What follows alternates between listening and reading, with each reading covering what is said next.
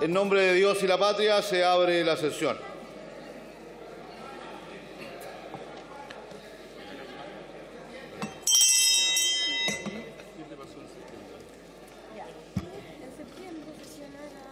Acta de la sesión número 61 se declara aprobada. El acta de la sesión 62 queda a disposición de las señoras diputadas y de los señores diputados. El señor prosecretario dará lectura a la cuenta. Gracias, presidente. Se han recibido los siguientes documentos. Oficio de Su Excelencia el Presidente de la República, por los cuales hace presente la urgencia calificada de discusión inmediata para el despacho de los siguientes proyectos. El que modifica la ley número 20.430 para establecer una etapa inicial del procedimiento de determinación de la condición de refugiado y la ley número 21.325 en relación con la medida de reconducción o devolución inmediata de personas extranjeras que ingresen de forma irregular al territorio nacional. El que introduce modificaciones al Código del Trabajo y otros cuerpos legales en materia de inclusión laboral de personas con discapacidad y asignatarias de pensión de invalidez. Oficio de Su Excelencia del Presidente de la República, por los cuales hace presente la urgencia calificada de suma para el despacho de los siguientes proyectos el que introduce modificaciones en la Ley 21.063, que crea un seguro para el acompañamiento de niños y niñas que padezcan las enfermedades que indica y modifica el Código del Trabajo para estos efectos. El que incorpora al pueblo Selnam entre las principales etnias indígenas reconocidas por el Estado. El que posibilita la incorporación de la Escuela de Gendarmería de Chile dentro de aquellas instituciones de educación superior que el Estado reconoce oficialmente e incorpora reglas especiales para su proceso de acreditación. Oficios de Su Excelencia el Presidente de la República, por los cuales retira y hace presente la urgencia calificada de discusión inmediata para el despacho de los siguientes proyectos. El que crea convenios de pago para aliviar la deuda asociada a los préstamos solidarios para transportistas contemplados en las leyes número 21.256 y 21.323 el que modifica diversos cuerpos legales con el objeto de incluir en el delito de contrabando el ingreso o extracción de dinero del territorio nacional en las condiciones que indica. Oficio de Su Excelencia el Presidente de la República, por los cuales retira y hace presente la urgencia calificada de simple para el despacho de los siguientes proyectos. El que modifica distintos cuerpos legales en materia de transparencia, fiscalización y probidad de las corporaciones municipales y organizaciones funcionales. El que modifica la ley de fomento a la marina mercante y la ley de navegación para fomentar la competencia en el mercado del cabotaje marítimo.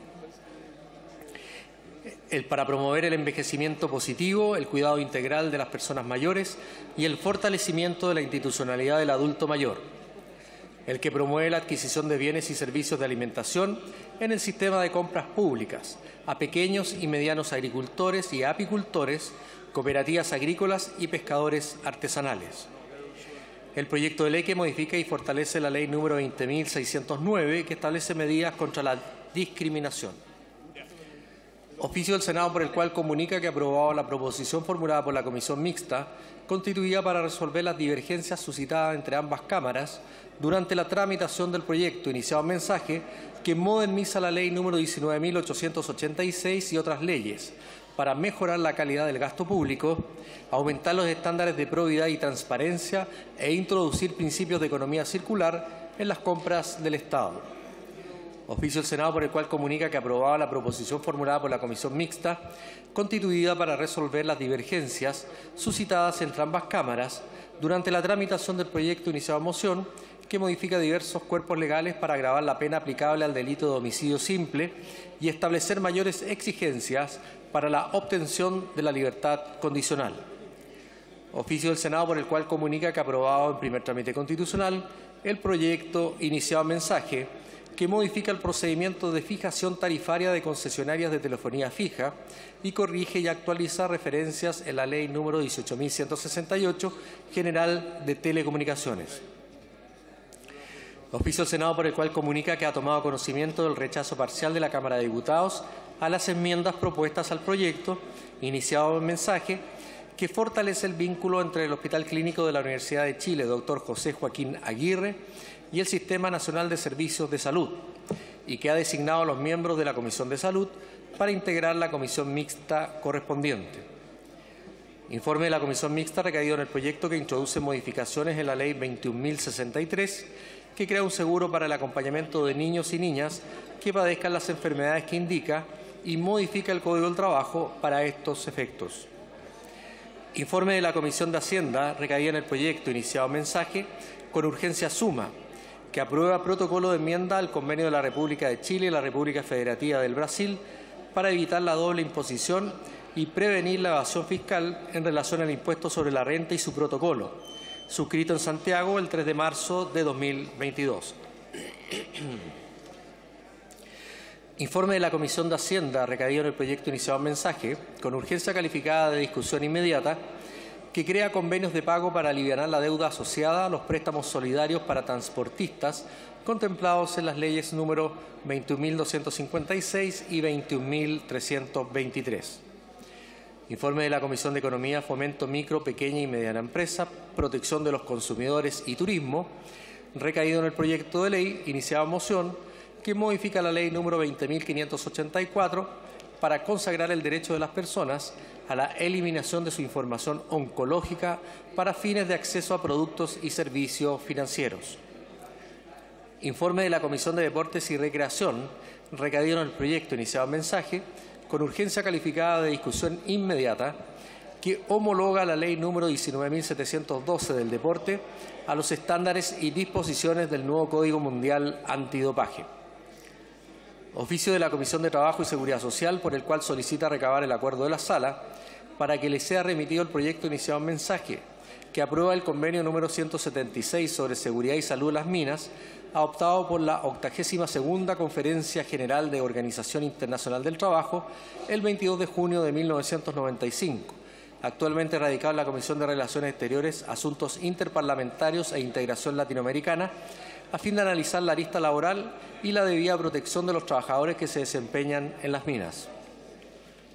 Oficio del presidente de la Cámara de Diputados por el cual, en el ejercicio de sus atribuciones concedidas por el artículo 15, inciso segundo, de la Ley número 18.918, procede a declarar inadmisible la moción de las diputadas señoras Pérez, doña Joana y Olivera y de los diputados señores Calisto, Camaño, Mellado, Don Cosme y Zafirio, que autoriza la circulación en el país de los vehículos que participarán en el Campeonato Mundial de Rally WRC 2023 en la región del Biobío por cuanto infringe las normas relativas a las materias de iniciativa exclusiva del Presidente de la República, dispuestas en los numerales 1 y 2 del inciso cuarto del artículo 65 de la Constitución Política de la República. Proyecto iniciado moción de las diputadas señoras Gamuri, Fries, Navellán, Orsini, Plasencia y Santibáñez y de los diputados señores Araya, Don Jaime y Ollarzo, que modifica la ley número 20.000 sobre tráfico ilícito de estupefacientes y sustancias psicotrópicas para obligar a informar sobre los efectos del consumo de alcohol y drogas en lugares que indica.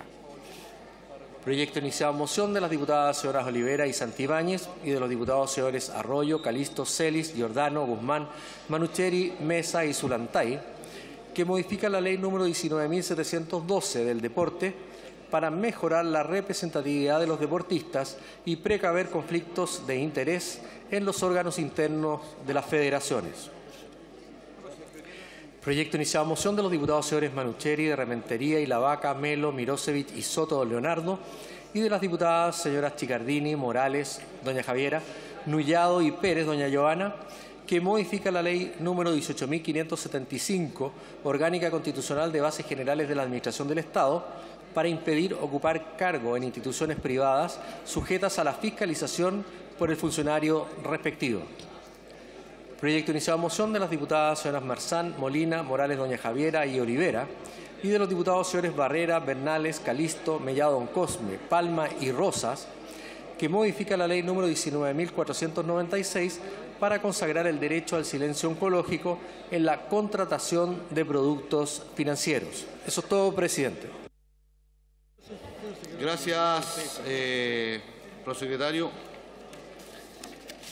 Asuntos de la cuenta. Si le parece a la sala, se accedería a la solicitud de la Comisión de Trabajo y Seguridad Social para que le sea remitido el proyecto iniciado en mensaje que aprueba el convenio número 176 sobre seguridad y salud en las minas, adoptado por la 82 Conferencia General de la Organización Internacional del Trabajo, el 22 de junio de 1995, actualmente radicado en la Comisión de Relaciones Exteriores, Asuntos Interparlamentarios e Integración Latinoamericana, a fin de analizar la arista laboral y la debida protección de los trabajadores que se desempeñan en las minas. Boletín 16.181-10. ¿Habría acuerdo? ¿Habría acuerdo? A una pregunta, a una pregunta del diputado Kaiser, consulta. Sí, señor. Una consulta, señor presidente. ¿Eso significa que se vería en ambas comisiones o solamente en, eh, o se traspasaría a la, a la comisión de trabajo? Es un traslado, diputado. es un Entonces traslado. no doy acuerdo. No hay acuerdo. ¿En votación? No, porque requiere unanimidad. Como requiere unanimidad, se rechaza. Te vamos a cambiar la noticia, hay un problema en ese cuestión. Minuto de silencio. A continuación, la sala de la Corporación guardará un minuto de silencio por el sensible fallecimiento de don Guillermo Telier del Valle, profesor, escritor, político chileno e histórico, líder del Partido Comunista de Chile, eh, ejerciendo su presidencia desde el año 2005. Don Guillermo Telier fue diputado por el distrito 13 de la región metropolitana en el periodo 2018-2022. Ejerció el mismo cargo por el distrito número 28, región metropolitana, por dos periodos seguidos entre el 2010 y el 2018.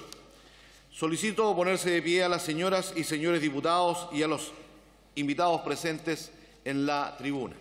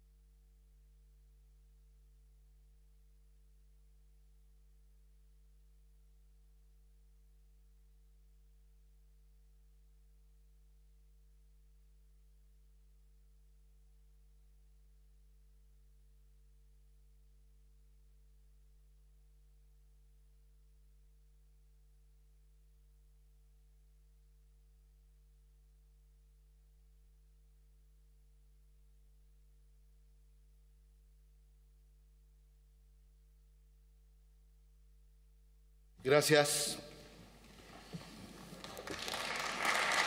Vamos para atrás. Eh, la reclamación la ha hecho la Leona Pérez, le damos la palabra por cinco minutos.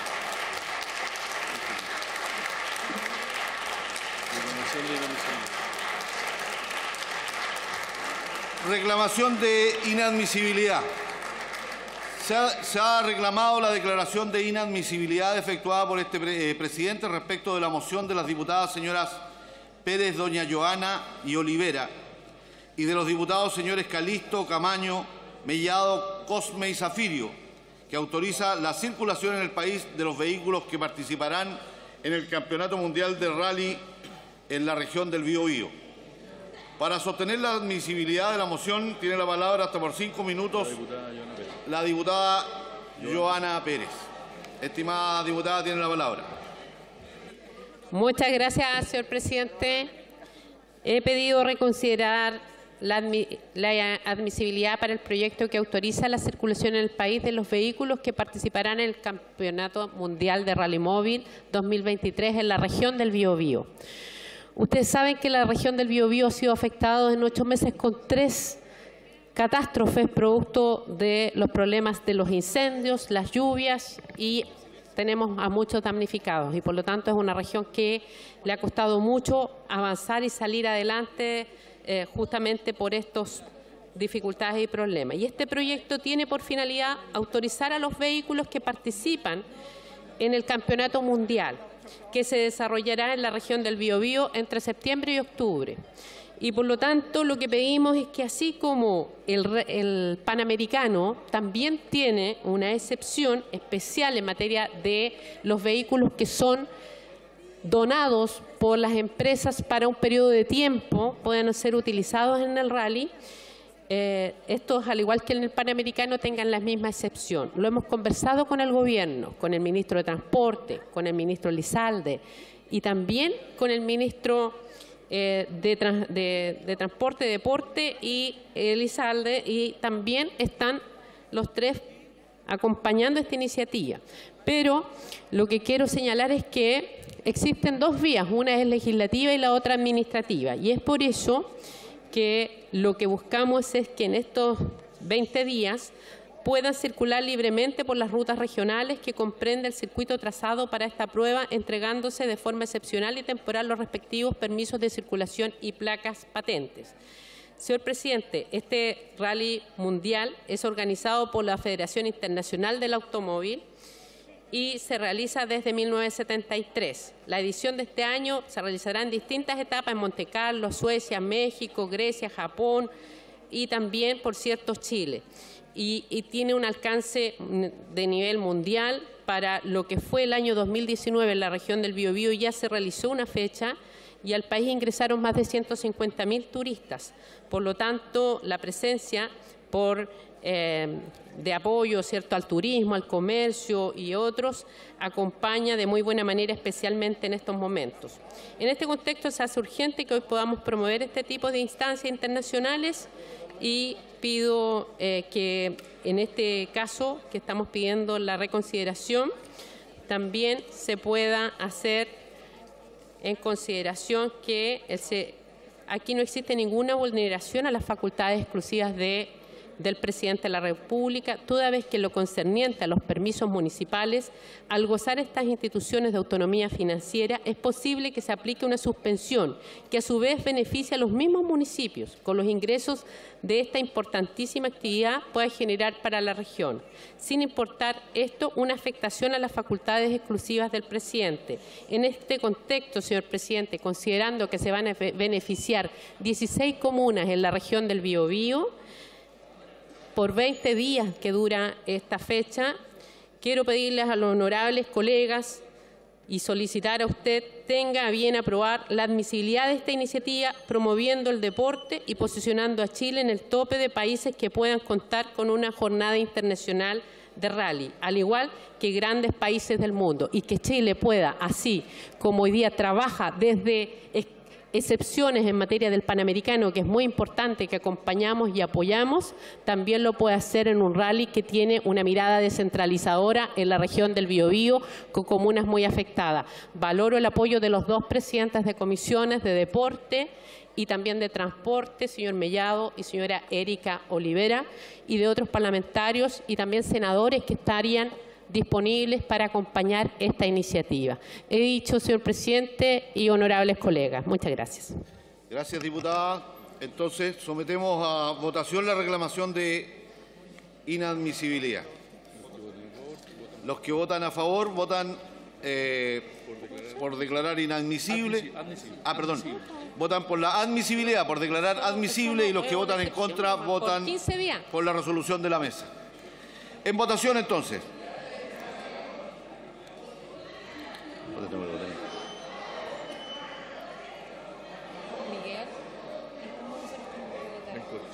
Sí, ahí. O abstenerse.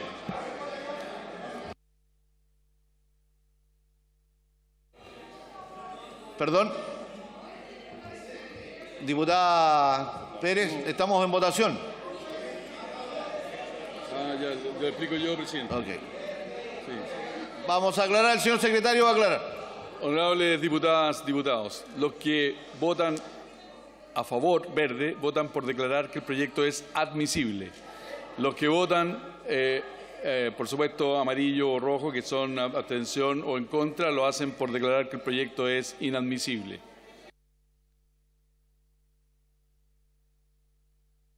¿Han votado todas y todos los señores diputados? Resultado de la votación. Resultado de la votación. Por la afirmativa, 50 votos, 5 en contra, 17 abstenciones. Se dará cuenta en la próxima sesión. Aprobado. Se dará cuenta en la próxima sesión. No, no hay. no- Sí, sí, sí, sí, la, la Panchi abstención. Vamos, seguimos. Seguimos. seguimos. Seguimos. Orden del día. Entrando en el orden del día. Entrando en la orden del día, Ya, sí lo tengo. Ya, Fernando me mandó la. la don Félix González, punto de reglamento. ordinaria de la Comisión de Derechos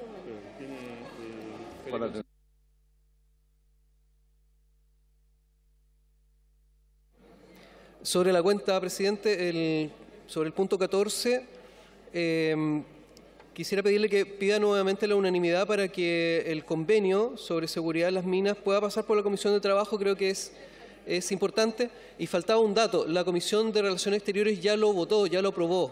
Entonces no veo dificultad en que ahora lo vea la Comisión de Trabajo. Presidente, se puede pedir de- nuevamente la unanimidad. Con ese nuevo antecedente, ¿habría unanimidad? Ah, acordado. Acordado. Muy bien, iniciando el orden del día, corresponde tratar las modificaciones del Senado recaídas en el proyecto de ley originado en mensaje que autoriza única y excepcionalmente el tránsito de los vehículos oficiales de los 19 Juegos Panamericanos y séptimos para, eh, Panamericanos Santiago 2023 dentro del país, correspondiente al boletín 16.088-15. Para la discusión de este proyecto se otorgarán tres minutos a cada diputada y diputado que se inscriba para hacer uso de la palabra. Le damos la bienvenida al ministro Pizarro. Le damos la bienvenida al ministro Pizarro. Bienvenido, A pesar de su pasado blanco. ministro.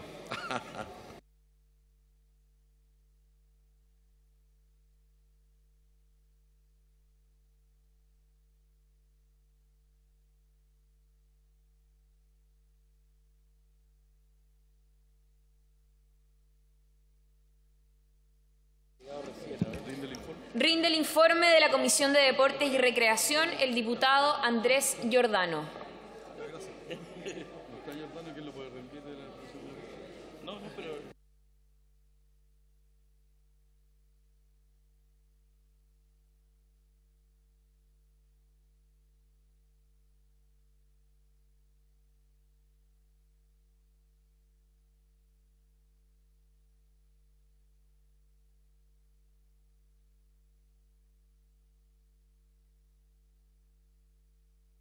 ¿Quiere usted?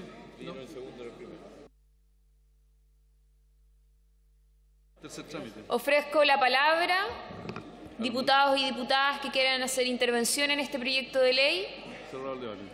Cerrado el debate. Pasamos al siguiente. No, ¿qué es? Fernando, Fernando Borque. Fernando Borque.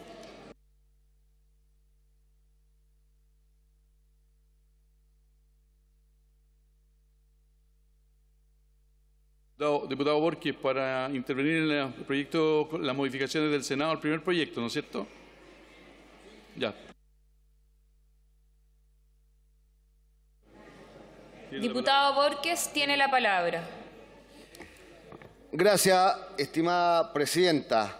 Estimado ministro del Deporte, este proyecto tiene por objeto autorizar el tránsito de los vehículos oficiales de los Juegos Panamericanos y Parapanamericanos que se celebrarán en noviembre de este año en nuestro país. Tenemos una gran oportunidad, estimado ministro, de celebrar el deporte como corresponde, que las familias pueden ir como espectadores y apoyar a todos los deportistas nacionales que nos representarán honorablemente en estas competencias. Estimados ministros, ellos necesitan a todos juntos en esta gran eh, gesta deportiva. En este contexto es indudable que la organización de este evento es de suma complejidad y como parte de este Congreso Nacional no nos queda más que tomar todas las medidas necesarias para facilitar el desarrollo del evento, que sin duda será una celebración para recordar en la historia del, del deporte de nuestro país.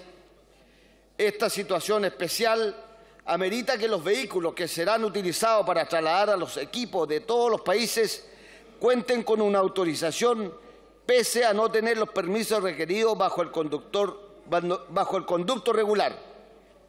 Creo que como país lo hemos pasado muy mal durante el último tiempo y los chilenos se merecen tener una instancia para olvidar todas las diferencias y dificultades y unirnos en este histórico evento deportivo.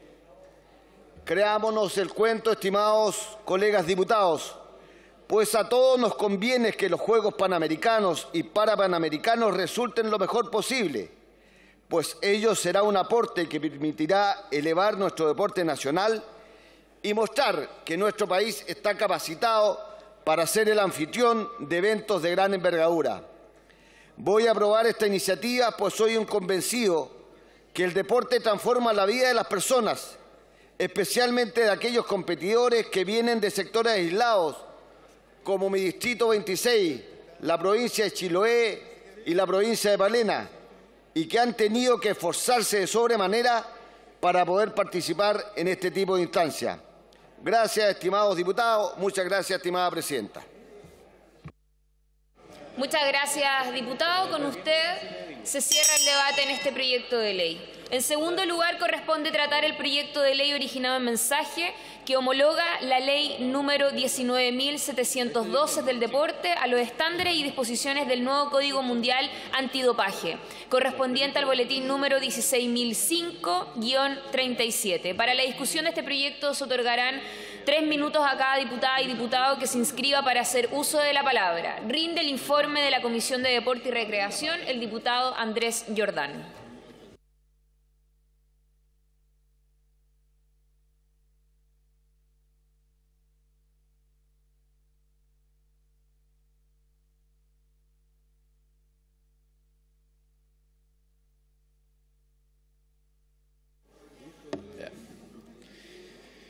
Señora Presidenta, honorables diputadas y diputados, me corresponde rendir el informe sobre el proyecto de ley iniciado en un mensaje del Presidente de la República que homologa la ley número 19.712 del deporte a los estándares y disposiciones del nuevo Código Mundial Antidopaje en segundo trámite constitucional.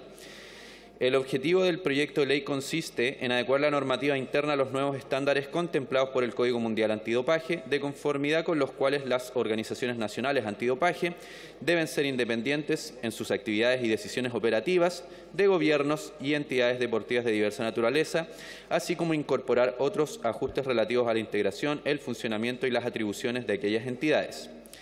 En el mensaje se dan a conocer los siguientes fundamentos. Primero, la modernización y actualización del título quinto de la ley número 19.712 y de la Comisión Nacional de Control de Dopaje constituye una tarea pendiente en consideración al desfase que ha sufrido la normativa interna frente a los nuevos parámetros establecidos en el Código Mundial Antidopaje desde el 2021. Esto se ha visto reflejado en un conjunto de no conformidades críticas representadas a Chile por la Agencia Mundial Antidopaje. Segundo, el nuevo Código Mundial Antidopaje ha establecido un nuevo estándar de independencia para las organizaciones nacionales antidopaje. Tercero, la adecuación de la normativa nacional de los nuevos parámetros del Código importa necesariamente la modificación del título quinto de la Ley número 19.712 de manera de asegurar efectiva independencia operativa de la Comisión Nacional de Control de Dopaje en la implementación y ejecución del Programa Nacional Antidopaje y en su función de liderar, promover e impulsar la aplicación de medidas de prevención y control del uso de sustancias prohibidas y métodos no reglamentarios. La autonomía requerida por la Agencia Mundial Antidopaje respecto a la Organización Nacional Antidopaje se aborda a través de la creación de una nueva Comisión Nacional de Control de Dopaje independiente en sus actividades y decisiones operativas, para lo cual se autoriza al Ministerio del Deporte para concurrir a la formación de la Comisión como una corporación de derecho privado sin fines de lucro, regida por las disposiciones del título 33 del libro primero del Código Civil, Así, el país superará la no conformidad crítica en materia de independencia. El articulado permite soslayar otros reparos concernientes a facultades legales de la actual Comisión Nacional de Control de Dopaje que carecen de sustento normativo dentro del actual ordenamiento jurídico internacional en este ámbito. Por tal motivo, la iniciativa suprime atribuciones de la Comisión como la de elaborar el listado oficial de sustancias prohibidas y la de homologar laboratorios para el análisis de muestras. Junto con lo anterior y a fin de establecer un renovado modelo institucional antidopaje, se aborda una situación no menos importante relativa al ente sancionador de las infracciones en este campo. Actualmente dicha función sancionatoria recae en el Tribunal de Expertos en Dopaje, cuya existencia se encuentra consagrada en una resolución exenta del Ministerio del Deporte. Este organismo debe descansar sobre una base normativa de mayor solidez que asegure su inequívoco reconocimiento por parte de aquellas personas que se encuentran sujetas a la normativa antidopaje el efectivo cumplimiento de sus resoluciones y su total independencia operacional e institucional respecto del ente que formula las acusaciones por infracciones. Adicionalmente, esta modificación legal se plantea en el sentido de urgencia que imprime la auditoría efectuada por la Agencia Mundial Antidopaje al Sistema Antidopaje de Chile en enero del año en curso, cuyos resultados fueron conocidos por la cartera del ramo el día 6 de marzo. De igual modo, el plazo para implementar las acciones correctivas orientadas a solucionar los hallazgos críticos es de tres meses. De no cumplirse este plazo, la Comisión Nacional de Control de Dopaje y los eventos deportivos programados en Chile podrían ser objetos de severas sanciones por parte de la agencia. Lo anterior representa una vulnerabilidad real y objetiva con miras a la celebración de los Juegos Panamericanos y Parapanamericanos Santiago 2023. En el marco de la discusión del proyecto durante el segundo trámite constitucional, la Comisión recibió al ministro del Deporte y a sus asesores, quienes explicaron el contenido y la urgencia de esta iniciativa legal. Así, la Comisión determinó aprobar por la mayoría de sus integrantes presentes el texto propuesto por el Senado en primer trámite constitucional sin modificaciones. Se trata de un artículo único que modifica el título quinto de la Ley 19.712 del Deporte en el sentido de reemplazar los artículos 70, 71 y 72 e incorporar los artículos 72 bis, 72 ter y 72 quater, 72 quinques, 72 sexies y 72 septies nuevos para los siguientes fines. Número 1 habilitar la formación de una corporación de derecho privado sin fines de lucro denominada Comisión Nacional de Control de Dopaje, cuyo objetivo principal será la ejecución, evaluación y modificación de las medidas tendientes a aplicar el Código Mundial Antidopaje y los estándares internacionales que rigen el control de dopaje en el deporte, incluyendo las referidas a sus áreas técnicas y operativas y la aplicación de toda otra normativa nacional e internacional antidopaje que esté vigente en el país. Se establecen las funciones de dicha entidad y se dispone que la dirección superior de la misma corresponderá a un Consejo Superior integrado por cinco, miembros titulares, quienes desempeñarán sus funciones ad honorem y serán designados por asociaciones e instituciones sin fines de lucros que desarrollen actividades relacionadas al conocimiento de las áreas antidopaje que debe desempeñar la Comisión en la forma que lo determinen sus estatutos. Se especifican las funciones de la Dirección Superior y se mencionan las estipulaciones mínimas que deberá contener los estatutos de la Comisión Nacional de Control de Dopaje. Número dos, crear el panel de expertos en dopaje como un órgano colegiado independiente cuyo objeto es conocer y resolver los casos relativos a las infracciones de las normas antidopaje y las autorizaciones de uso terapéutico de conformidad con el Código Mundial Antidopaje y los estándares internacionales.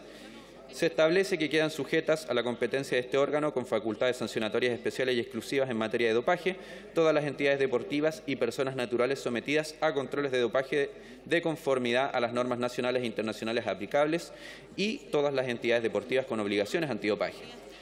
Se detalla que el panel estará conformado por una sala de audiencias, una sala de autorizaciones de uso terapéutico y una sala revisora, cada una de las cuales tendrá distinta integración, funcionamiento independiente e incompatibilidad de funciones entre sus integrantes. Número 3. Establecer las reglas aplicables a la sala de audiencias, la sala de autorizaciones de uso terapéutico y la sala revisora, su conformación, la designación de sus miembros y su forma de funcionamiento. Número cuatro, establecer las funciones del presidente del panel de expertos en dopaje, las incompatibilidades de los miembros del panel, las causas de inhabilidad y la cesación de funciones que le son aplicables. Finalmente, se contemplan cuatro disposiciones transitorias. El artículo primero faculta al Ministerio de Deporte para realizar todos los trámites necesarios para la constitución de la Comisión Nacional de Control de Dopaje, incluida la redacción de sus primeros estatutos. Por su parte, los artículos segundo y tercero transitorios regulan la entrada en vigencia de la nueva institucionalidad y la situación de los actuales organismos, esto es, la Comisión Nacional de Control de Dopaje y el Tribunal de Expertos en Dopaje. Por último, el artículo cuarto transitorio dispone que el nuevo panel de expertos en dopaje deberá instalarse en una sesión pública dentro de los diez días siguientes al nombramiento del último de sus miembros. Además, dispone que una vez que se dé inicio al funcionamiento de la Comisión Nacional de Control de Dopaje y se instale el panel de expertos en dopaje, el Ministerio del Deporte deberá dejar sin efecto la resolución número 865 del año 2020 del Ministerio del Deporte, que aprueba el reglamento que regula la realización de controles de dopaje y sus anexos. Y sus anexos. Es todo cuanto puedo informar, he dicho, señora presidenta.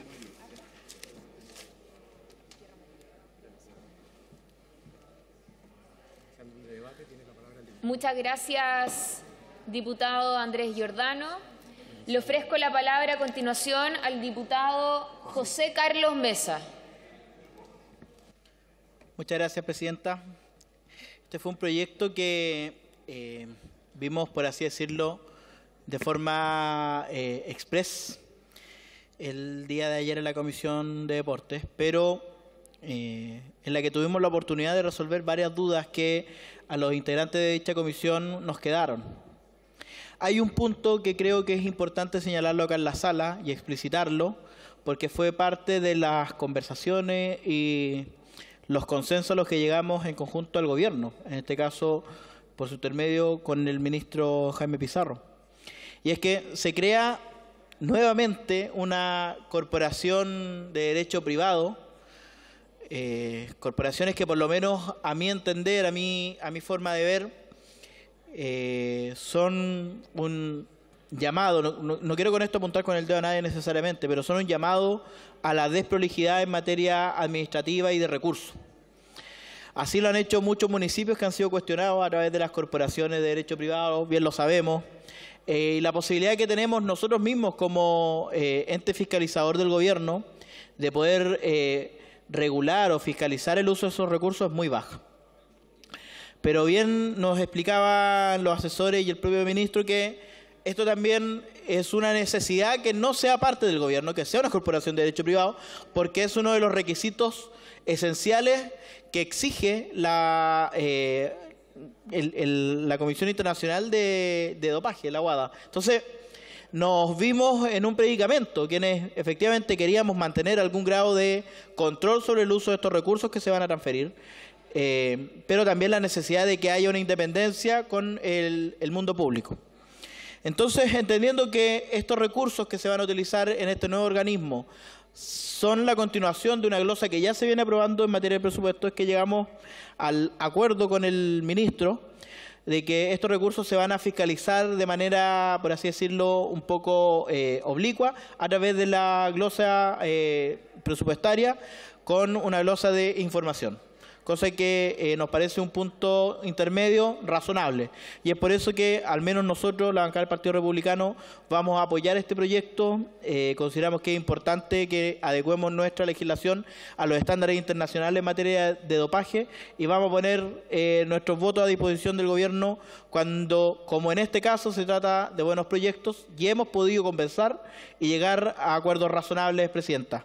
Eh, así que, ministro, eh, nos veremos después en la Comisión de Presupuesto eh, y en la Ley de Presupuesto para hacer eh, carne el acuerdo al que hemos llegado. Muchas gracias, presidente. Muchas gracias, diputado. A continuación, le ofrezco la palabra a la diputada Erika Olivera. Muchas gracias, presidenta. Por su intermedio, saludo al ministro del Deporte, señor Jaime Pizarro. Presidenta, el país se prepara para, recibir su mayor evento deportivo de la historia, incluso más grande que el Mundial de Fútbol de 1962 en términos operativos y de inversión. Nos preparamos para una cita que será el centro del deporte de alto rendimiento de América durante semanas, recibiendo a los más destacados deportistas en la distinta disciplina. Es un evento que nos obliga a ponernos a la altura de los estándares más adelantados del deporte mundial y en lo relativo al dopaje no es la excepción. En el contexto de la realización de los Juegos Panamericanos y Parapanamericanos Santiago 2023, la Agencia Mundial Antidopaje realizó una auditoría a Chile por la cual señaló una serie de recomendaciones a fin de adecuar la regulación del doping y las instituciones encargadas de velar por, por, el no uso de sustancias no autorizadas en el deporte nacional. Luego de esa recomendación, el Ministerio del Deporte presentó el proyecto de ley que homologa la Ley 19.712 del Deporte a los estándares y disposiciones del nuevo Código Mundial Antidopaje que hoy discutimos.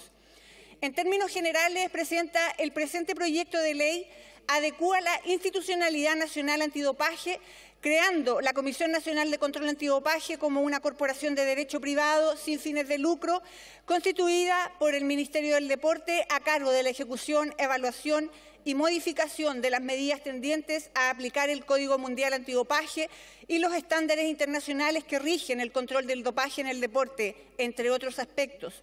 Si bien este organismo ya se contempla en la ley del deporte como dependiente del Ministerio, el presente proyecto le entrega legitimidad y autonomía.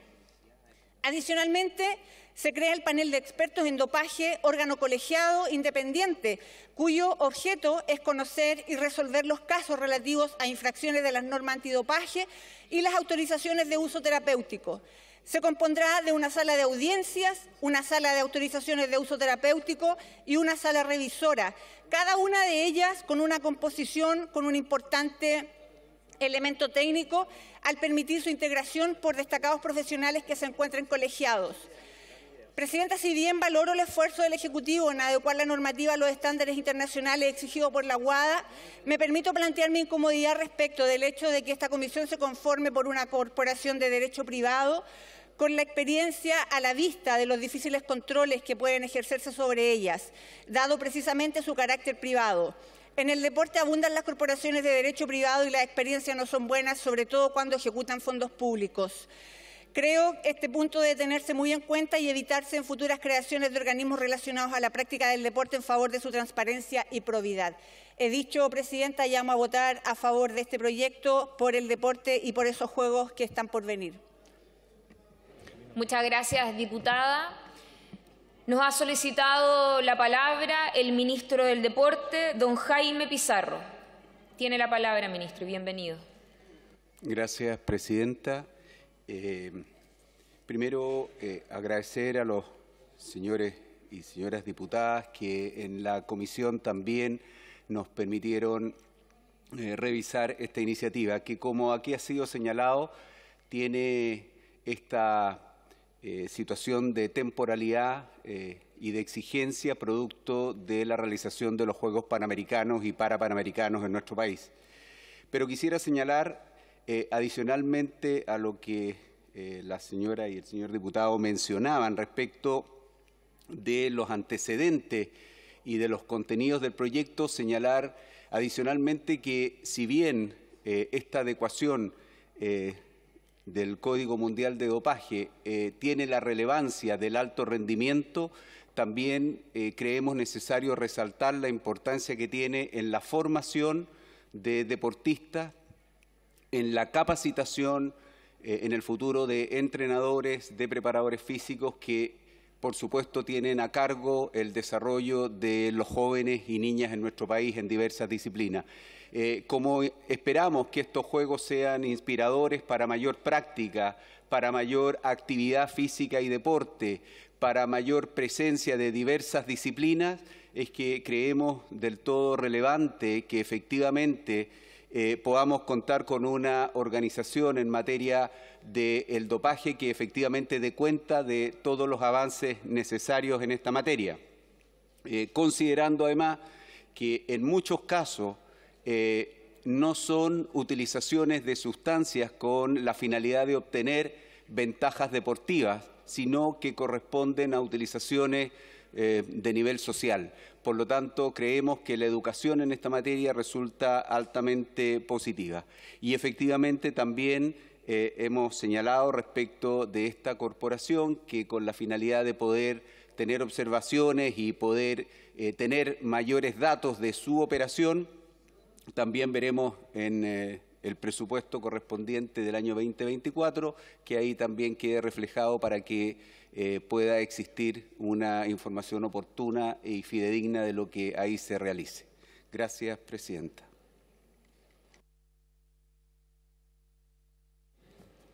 Muchas gracias, ministro.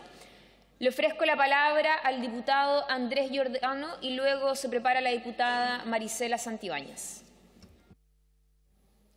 Muchas gracias nuevamente, Presidenta. Eh, bueno, en los últimos años la tónica de nuestra agenda legislativa ha sido ir adecuando eh, los estándares nacionales o los parámetros nacionales a los estándares internacionales. Lo hicimos, por ejemplo, hace no tanto tiempo con el convenio 190 de la OIT y los posteriores esfuerzos legislativos por implementar medidas que prevengan, investiguen y sancionen el acoso laboral, sexual, maltrato y discriminación en los ámbitos del trabajo. Y el día de ayer, de manera expedita, votamos en la Comisión de Deporte este proyecto de ley con un amplio consenso, que es el que ha caracterizado además el trabajo de esa comisión. Y nuevamente se hace imperante una homologación de la normativa internacional en nuestra legislación. Esta vez con mayor premura por estar a puertas del evento deportivo, como decía mi colega la diputada Olivera y presidenta de la comisión, más importante en Chile desde el Mundial del 62, ¿no? los Juegos Panamericanos y Parapanamericanos Santiago 2023. Y así fue necesario legislar en torno a la autonomía e independencia de un órgano con facultades sancionatorias respecto de la infracción a las normas antidopaje. La nueva Comisión de Control del Dopaje, como leí recientemente, pasaría de ser un órgano reglamentario dependiente del Ministerio del Deporte a ser una asociación de derecho privado. Y esto cumple con los, requisitos que nos ha exigido la Agencia Mundial Antidopaje, pero al mismo tiempo en la Comisión fue advertida la posibilidad de abrir algunos flancos que preocupan a la Comisión de Deporte y que lo expusimos dada nuestra experiencia previa con corporaciones de derecho privado. Entendemos la premura y vamos a aprobar por lo mismo y que existe una, una urgencia de legislar pero esto deja pendiente el punto hacernos responsables de las falencias que actualmente tiene la legislación respecto de la constitución y funcionamiento de las asociaciones, corporaciones o fundaciones de derecho privado. Y en este mismo tono hemos expuesto como Diputación los problemas asociados a la fiscalización de asociaciones de derecho privado que justamente tienen como función fiscalizar. Ante esto, cabe preguntarse, ¿quién fiscaliza al ente fiscalizador? Es un dilema que no hemos resuelto y que buscamos dilucidar con la solicitud de Comisión Especial Investigadora respecto de los actos de gobierno, en especial el Ministerio de Justicia y el Ministerio del Deporte, en torno a múltiples irregularidades que se han develado sobre la Asociación Nacional del Fútbol Profesional, ANFP, hoy en incierto control de admisibilidad. No queremos repetir la historia, por eso si bien aprobamos y respaldamos este proyecto con mucha convicción, que sabemos significa un gran avance en materia deportiva, es necesario poner los respectivos signos de exclamación e interrogación en sus posibles carencias y debates pendientes urge legislar sobre las asociaciones de derecho privado, su funcionamiento, su fiscalización y el uso de recursos, más aún si estos son de origen público. Así que al mismo tiempo nos parece indispensable abordar la gran crisis del fútbol chileno de la mano de las responsabilidades que le competen a los clubes profesionales y sobre todo a su asociación, la ANFP. He dicho, presidente, muchas gracias. Muchas gracias, diputado Giordano. A continuación tiene la palabra la diputada Marisela Santibéñez. Dudo que haya podido escuchar el ministro al diputado Giordano, pero bueno, ¿cómo está ministro? Lo saludo amablemente.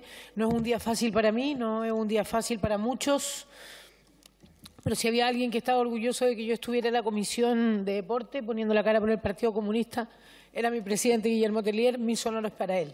Honor y patria, compañero. Honor y gloria. Decirle, ministro, que eh, me parece que no, bueno, no puede estar en la discusión del día de ayer, pero sí eh, estamos muy atentos siempre como equipo, no solo como equipo, sino que como, como comité. Y creemos que este proyecto, bueno, tenemos que aprobarlo de todas maneras y lo vamos a hacer. Me quiero sumar a las palabras que decía mi compañero Giordano, Andrés. Eh, donde efectivamente quién fiscaliza al fiscalizador es un tema pendiente en muchas materias. Y creo, Presidenta, a través suyo que, que da en el clavo el, diputado y que por la necesidad que tenemos de lo, que se realicen de forma correcta, de forma eh, íntegra los Juegos Panamericanos y Parapanamericanos con el cual he estado de la mano con el ministro, de la mano con los organizadores y seguiré estándolo porque debe ser de todo orgullo para nuestro país y de transversalidad absoluto que esto resulte. No, no, eso no me cabe ninguna duda que así será. También el esfuerzo que ha puesto la Comisión de Deporte eh, en todo el periodo. En este periodo y en el anterior es algo que debe llenarnos también de orgullo como Cámara de Diputados cuando antes se tenía que salir a buscar a diputados o parlamentarios o para que pudieran dar quórum, tanto en cultura como en deporte. Eso siempre fue así en este espacio. Hoy día, al parecer, su llegada, ministro, a través suyo, presidenta, y lo, felicito y lo celebro que esté hoy día como uno de los, de los ministros mejor evaluados. Eso habla habla de que el deporte va a ser una cosa importante para este, para este presidente y para este gobierno. Si me trago en las palabras, no solamente es la pena, sino que es la necesidad de estar presente acá. Si hoy día estoy acá es porque hay dos proyectos de deporte, eh, pero me gustaría estar eh, despidiendo a nuestro compañero. Así que muchas gracias, Presidenta. Vamos a votar como bancada a favor de este proyecto. Muchas gracias. Muchas gracias, diputada Marisela Santibáñez. No, no habiendo más inscritos, hago el último llamado. ¿Alguien quiere hacer uso de la palabra para que se inscriba a la plataforma? Cerrado el debate entonces. ¿Quién? Diputado Franz Sauerman. Diputado Sauerman, discúlpeme, no lo vi. Tiene la palabra.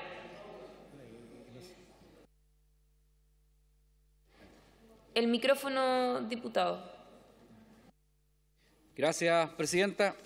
Presidenta, eh, este proyecto sin duda resulta muy relevante para nuestros deportistas eh, y busca principalmente la propuesta actualizar y modernizar la normativa antidopaje en Chile para cumplir con los estándares internacionales establecidos por la Agencia Mundial de, o Antidopaje y el nuevo Código Mundial Antidopaje vigente desde enero del 2021 se persigue garantizar también la independencia operativa de la Comisión Nacional de Control de Dopaje y establecer un nuevo modelo institucional eh, antidopaje.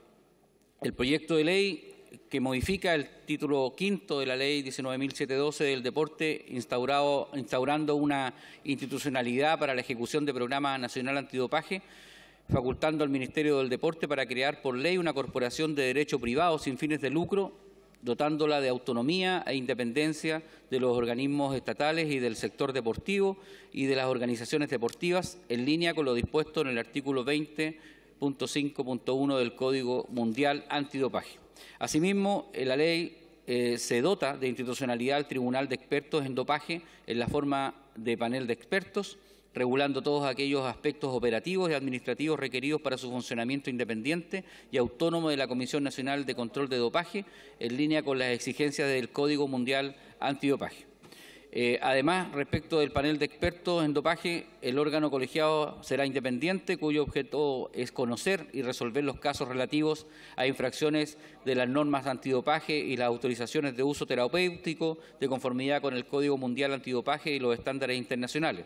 También su funcionamiento será independiente y autónomo de la Comisión Nacional de Control de Dopaje, conformado por eh, una sala de audiencia de nueve integrantes, donde, habrán cuatro abogados, tres médicos, dos bioquímicos, una sala de autorizaciones de uso terapéutico con cinco integrantes, dos médicos, eh, un abogado, sala revisora, cinco integrantes también, de tres abogados, un médico, eh, y también regula la designación, duración, conflictos de interés, incompatibilidades y cese de funciones eh, según corresponda por las sanciones que esta propia comisión pueda determinar. Presidente, nosotros vamos a votar a favor de este proyecto. Creo que es, eh, va en la línea de lo que internacionalmente se ha hecho y, por lo tanto, tenemos que ponernos a tono respecto de la legislación mundial antidopaje. Gracias, presidente. Votamos a favor.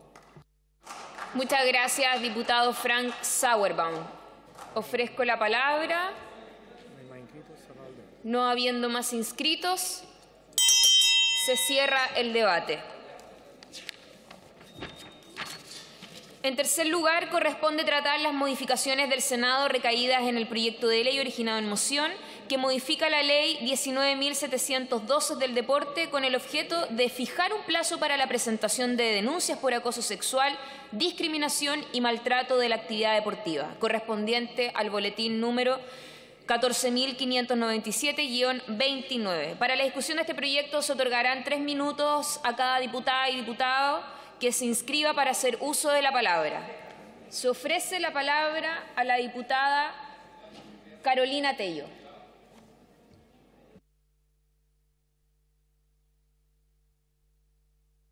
Se ofrece la palabra a la diputada Erika Olivera.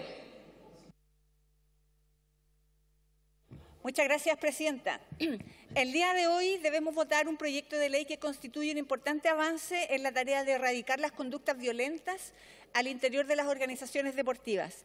Como se ha explicado previamente, con la promulgación de la Ley 21.197 se estableció el deber de contar con un protocolo contra el acoso sexual, abuso sexual, discriminación y maltrato en la actividad deportiva para toda organización deportiva. Si bien en ningún caso la implementación de este protocolo ha significado una disminución considerable de casos, sino más bien ha permitido la visibilización de conductas anteriormente normalizadas e institucionalizadas. Creemos que vamos por el camino correcto, especialmente a la luz de las modificaciones que hoy votamos.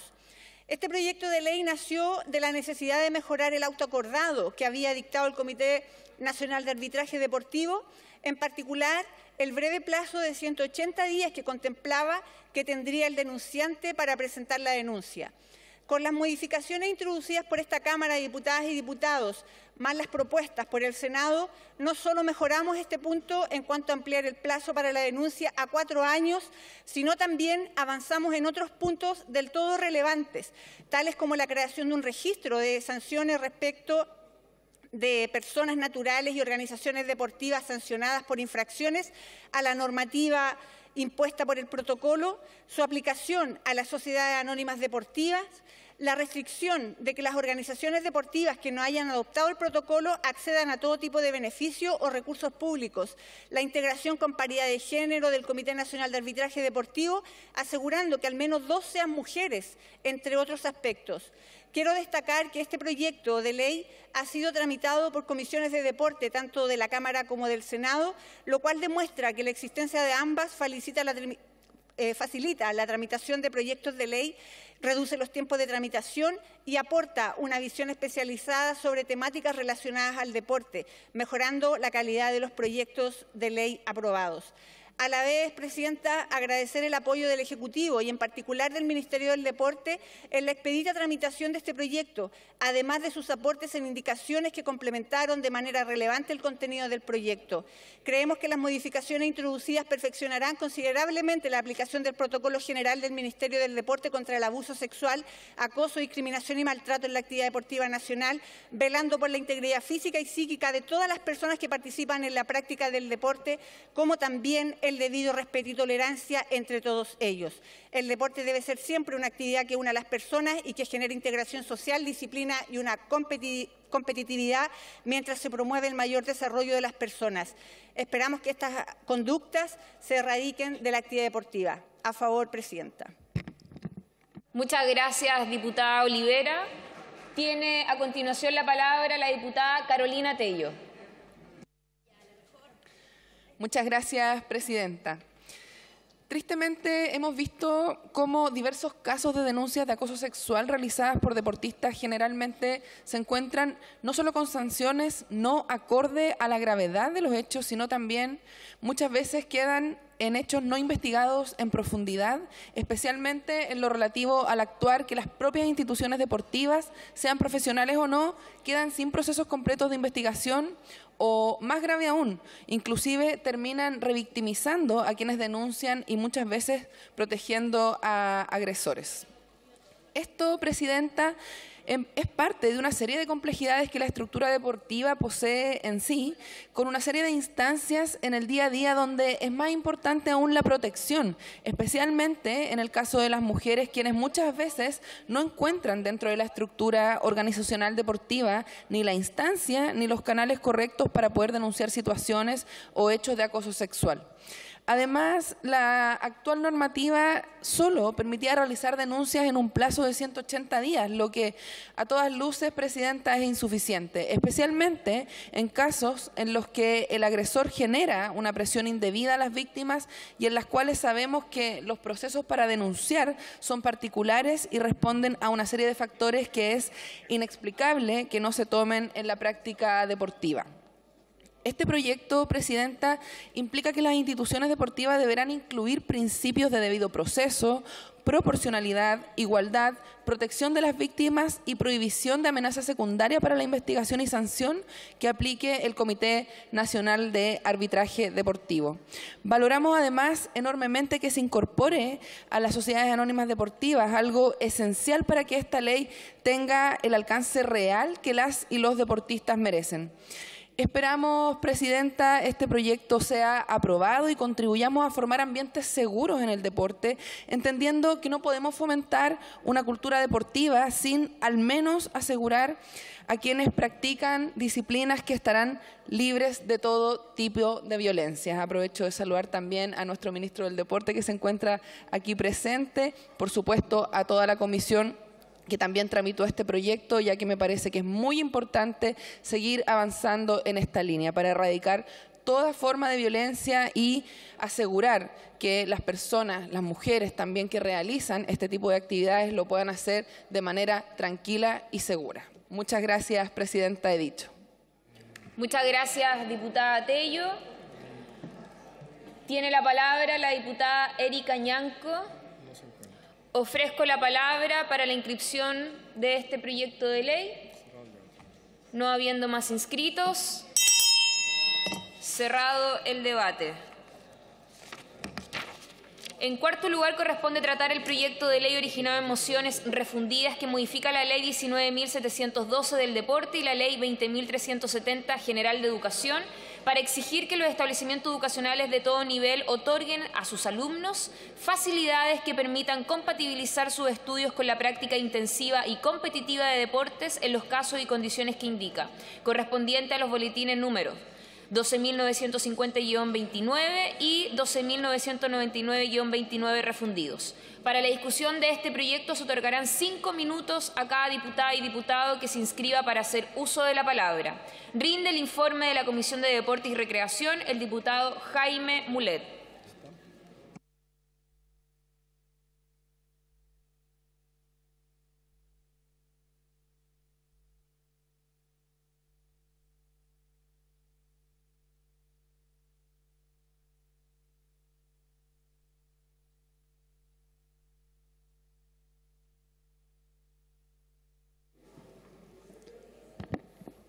Buenos días.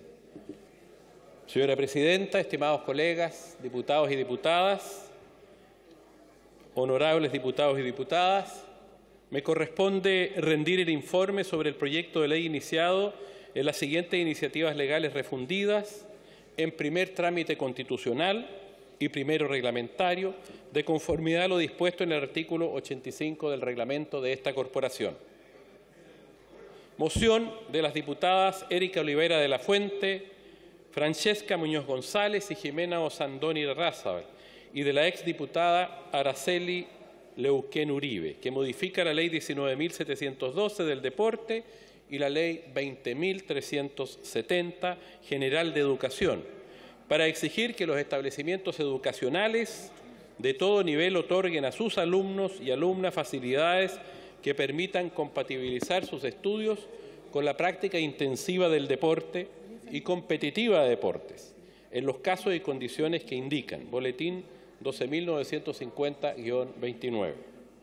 Moción de los exdiputados Jaime Toa González y Sebastián Keitel Bianchi, de la diputada Erika Olivera de la Fuente y de los diputados Marcos y La Vaca Cerda, que modifica la ley 19.712 del deporte para exigir que los estudiantes que además sean deportistas seleccionados de alto nivel sean sometidos a un régimen de estudios compatible con la actividad deportiva. Boletín 12.999-29. La idea matriz del proyecto de ley consiste en permitir que los alumnos de establecimientos educacionales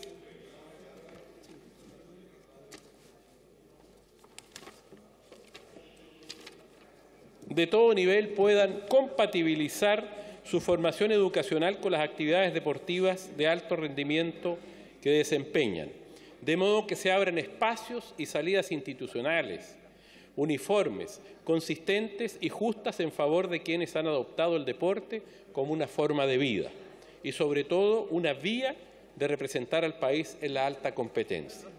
En las mociones se dan a conocer las siguientes antecedentes. Nuestro actual sistema educativo sienta sus bases en la denominada Ley General de Educación, Ley 20.370, la cual establece los niveles educativos de enseñanza básica y enseñanza media en sus diferentes modalidades, científico-humanística, técnico-profesional y artística. Sin embargo, lamentablemente dicho texto legal no se refiere a la formación de deportistas en los establecimientos educacionales. En los decretos que rigen y establecen normas de evaluación, calificación y promoción del sistema educacional, se señala que los estudiantes deben tener más del 85% de asistencia durante el año escolar en curso y se contemplan situaciones excepcionales de promoción si no cumplen con el mínimo, sin que se haga mención alguna al caso de la participación permanente de los estudiantes en actividades de formación deportiva de alto rendimiento. Aunque existen a lo largo del país establecimientos educacionales privados que incorporan en sus proyectos educativos la formación de deportistas de alto rendimiento. En su mayoría colaboran a que los estudiantes deportistas terminen rindiendo exámenes libres cada fin de año, pues el desarrollo del deporte profesional los lleva, en algunos casos, a no cumplir con los requisitos mínimos que se establece en el Ministerio de Educación para ser promovidos al año siguiente. porcentaje de asistencias, de horas de clases semanales, exámenes presenciales y calendarios de fechas que son comunes para todos los alumnos de su curso. Se destaca el deporte como la actividad humana más importante después del trabajo, pues en él recaen las esperanzas de poder mejorar la calidad de vida de las personas y es la herramienta más eficaz que pueden tener los gobiernos para aligerar la carga que la vida en esta sociedad globalizada e interconectada impone a los seres humanos. El ejercicio físico y en especial el deporte mejoran ostensiblemente la función mental, la autonomía, la memoria, la rapidez, la sensación de bienestar, produciendo estabilidad en la personalidad caracterizada por el optimismo y la flexibilidad mental. Según la ciencia, entre el 9 y el 16% de las muertes producidas en los países desarrollados pueden ser atribuidas a un estilo de vida sedentario. De ahí que resulte un imperativo político y social la promoción sostenida y permanente en el tiempo, de modo tal que todos y cada uno de los chilenos y chilenas puedan acceder al deporte de distintas maneras. A la actividad recreativa en sí misma se le suma aquella porción de deportistas que hacen de la competición una forma de vida y una carrera profesional. Y es a ellos quienes desde la formación escolar más temprana se les debe permitir el desenvolvimiento de la actividad deportiva de alto rendimiento que practican, permitiéndoles un desempeño eficiente en el cual se conjugan equilibradamente las exigencias académicas con la posibilidad de ejercitar, practicar y representar a Chile en diferentes disciplinas deportivas. En cuanto a sus fundamentos, las mociones se refieren a los siguientes aspectos. Resulta imperioso poder ofrecer un espacio de desarrollo para programas especiales para deportistas de alto rendimiento al interior de los establecimientos educacionales, reconocidos por el Ministerio de Educación, con el propósito de poder compatibilizar la actividad deportiva profesional con los estudios formativos y formar de manera conjunta a nuestros deportistas en la base académica que necesitan para alcanzar otros logros, inclusive fuera del ámbito deportivo. La participación creciente de los jóvenes en carreras deportivas de alta exigencia nos debe poder, nos debe mover a pensar que a pesar de las exigencias que tienen en materia académica, se deben abrir espacios y salidas institucionales, uniformes, consistentes y justas en favor de los deportistas. En el marco de la discusión general se recibió al señor ministro del Deporte, que está aquí presente, al señor ministro de Educación, destacando la colaboración del Ejecutivo en lo que respecta a la presentación de indicaciones que contribuyeron a perfeccionar los textos propuestos por ambas mociones parlamentarias. Cabe destacar que esta iniciativa legal fue aprobada en general por unanimidad de votos y que el texto aprobado en particular por la Comisión consta de dos artículos permanentes y tres disposiciones transitorias. Mediante el artículo 1 se modifica la ley del deporte a fin de disponer que las instituciones de educación de todos los niveles deberán otorgar las facilidades necesarias para hacer compatibles los estudios con la práctica intensiva del deporte, mediante mecanismos permanentes que permitan a sus estudiantes designados como seleccionados hacer compatibles sus actividades académicas con los programas de entrenamiento y participación en las competiciones deportivas oficiales programadas por el Comité Olímpico de Chile o Paralímpico de Chile y por la Federación o por una federación de una modalidad deportiva reconocida por el Ministerio del Deporte. Estos mecanismos deberán contemplar una debida flexibilidad para la asistencia y rendición de evaluaciones, además de aquellos elementos que sean necesarios para asegurar el desarrollo deportivo, y la trayectoria de los estudiantes, los y las que podrán ser distintos por nivel educativo. Igualmente se establece la forma en que se ejercerá el derecho de los estudiantes deportistas a utilizar los mecanismos permanentes mencionados.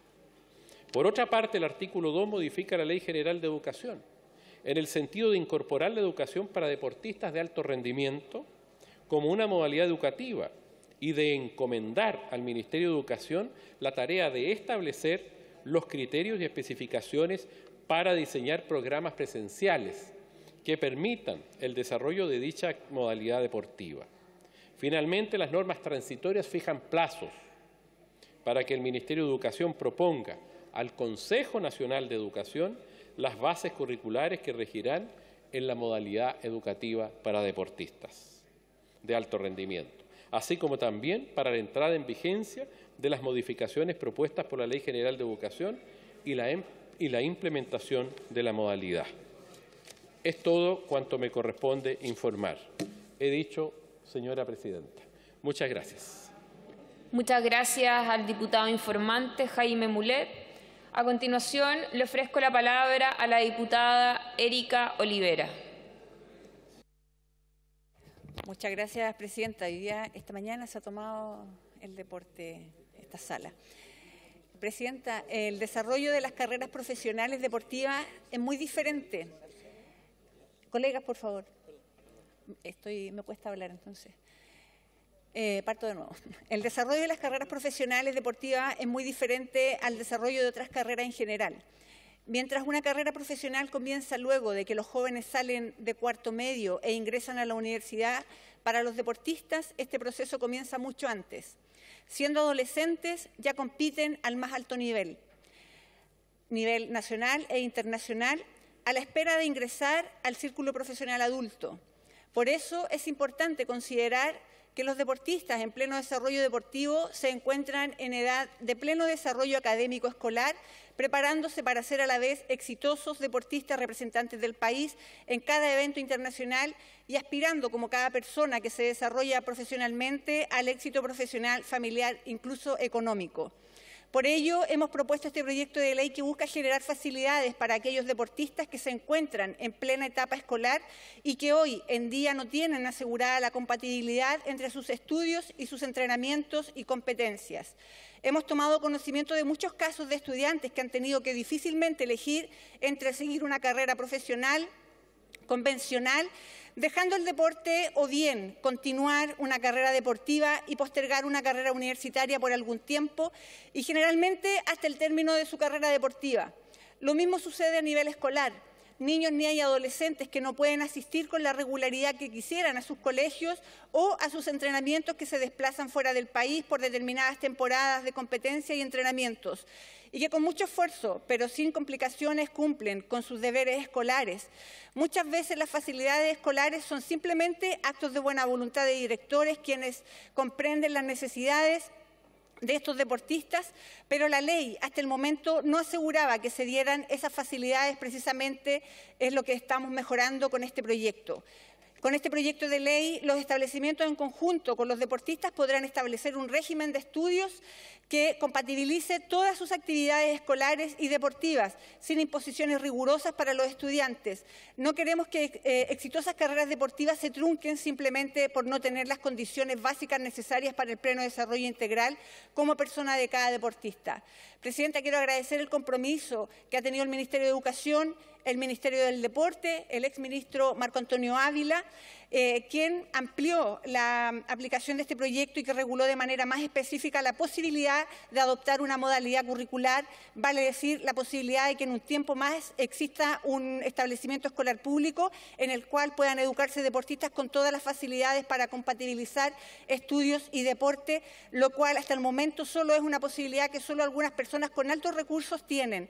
Así que, Presidenta, agradezco nuevamente y, por supuesto, llamo a votar favorablemente este proyecto. Muchas gracias. Muchas gracias, diputada Olivera. Tiene la palabra a continuación la diputada Carolina Tello. Muchas gracias, Presidenta. Nuestro país está a un par de meses de recibir por primera vez los Juegos Panamericanos en la ciudad de Santiago. Será una instancia histórica en la cual no solo probaremos como país que podemos organizar un evento de gran magnitud, sino que por sobre todo nos puede brindar la tremenda posibilidad de comenzar a fomentar una cultura deportiva que siente sus bases desde las primeras etapas de la infancia en sectores transversales de nuestra sociedad. Lamentablemente también he sido y hemos sido testigos de cómo llevar adelante una carrera deportiva en nuestro país es sinónimo de esfuerzo personal y familiar con una ayuda estatal generalmente insuficiente y que nos lleva a ejemplos generalizados de atletas y deportistas que deben estudiar y entrenar, trabajar y entrenar con una imposibilidad real de dedicarse de forma óptima al alto rendimiento o al deporte profesional. La experiencia, además, Presidenta, demuestra la importancia de establecer un trabajo permanente desde edades tempranas, algo que se hace más complejo en nuestro país principalmente por dos motivos. Los recursos necesarios para realizar una disciplina de forma competitiva y el tiempo necesario para poder desarrollarlo.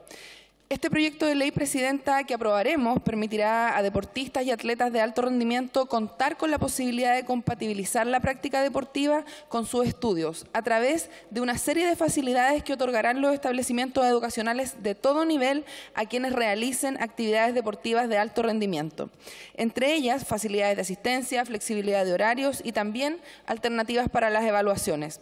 Este es un gran paso, Presidenta, que permitirá especialmente a alumnas y alumnos de instituciones públicas y subvencionadas de contar con un apoyo real en sus instituciones educacionales, terminando con una barrera en la cual quienes menos tienen se enfrentan no solo a la falta de recursos, sino también una estructura que no reconoce el deporte como una carrera y no reconoce en el deporte la relevancia que éste tiene.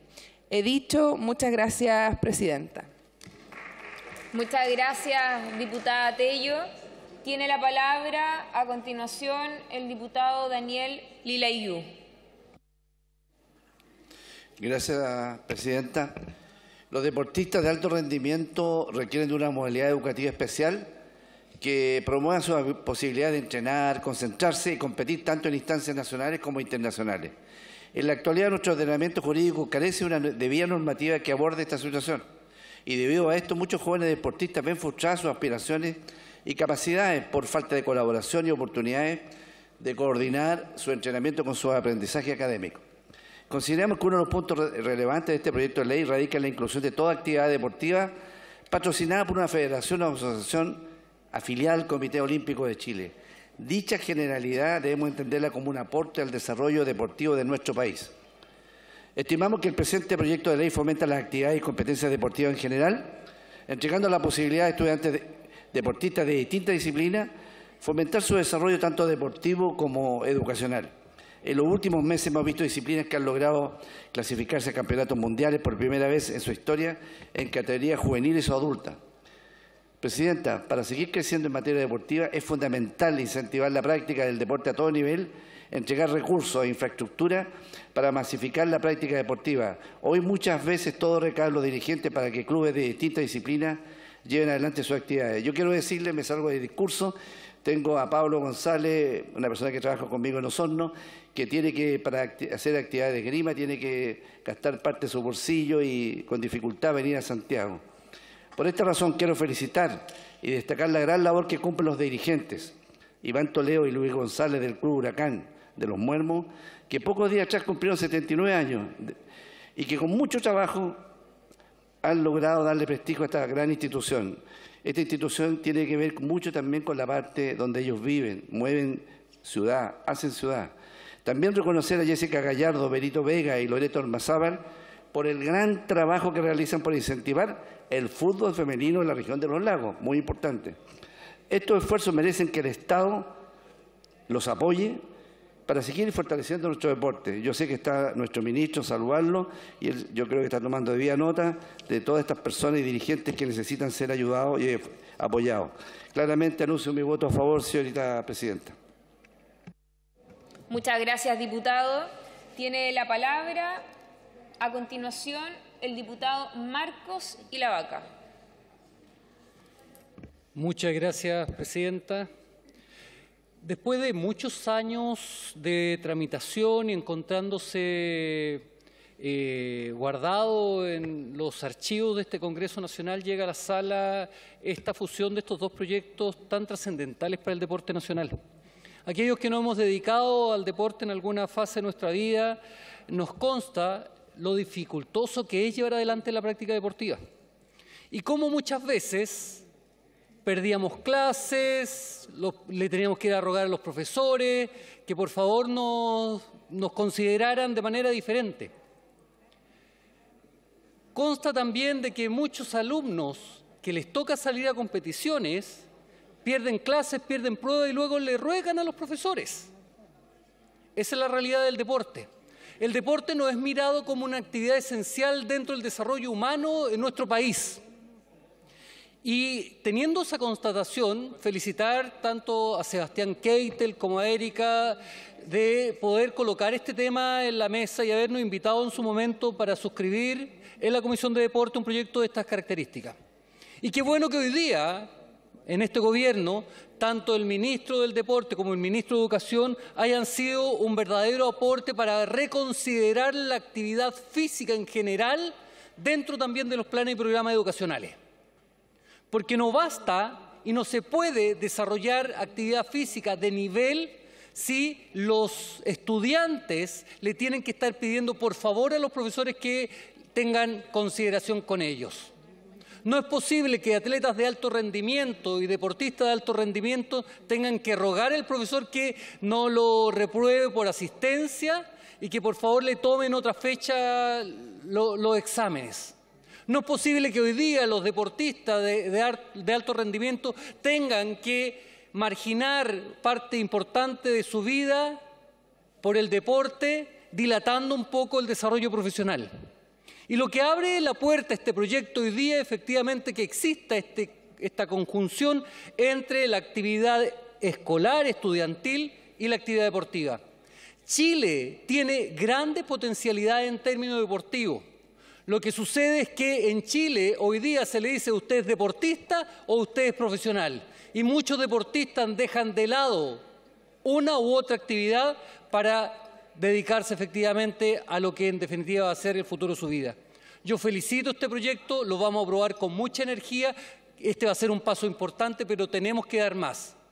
Ojalá que más adelante en el futuro los niños que quieran ser deportistas profesionales tengan la facilidad para ejecutar ambas acciones. El deporte es salud, el deporte es vida y el deporte también es parte de nuestra cultura. He dicho, señora presidenta.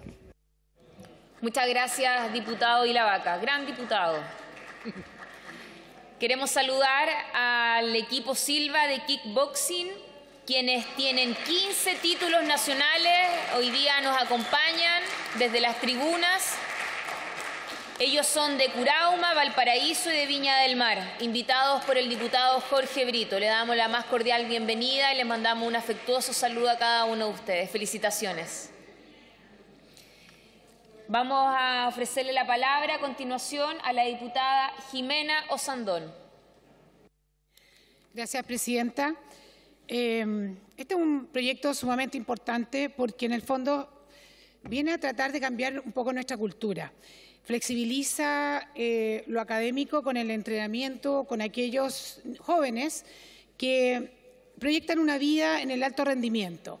Pero la pregunta mía es, que a pesar de que esto es un avance, igual nos quedamos al debe, porque ¿cómo llegamos a que más jóvenes, niñas y niños desde, su, desde primeros años escolares, eh, se decían por el deporte, para que tengamos más alumnos con alto rendimiento? Los países que, que tienen y que brillan en el ambiente competitivo, esto lo tienen resuelto. Y yo me tocó personalmente vivir en Estados Unidos con mis hijos y pude de primera fuente darme cuenta de que el ramo de educación física era tanto más importante que los demás ramos. Cuando había una competencia, se competía entre colegios, entre estados, entre municipios, por decirlo así, y no se podía faltar. Había una cosa cultural muy, muy importante relacionada con el deporte. Eh, y es por eso que tenemos que avanzar en este tipo de proyectos.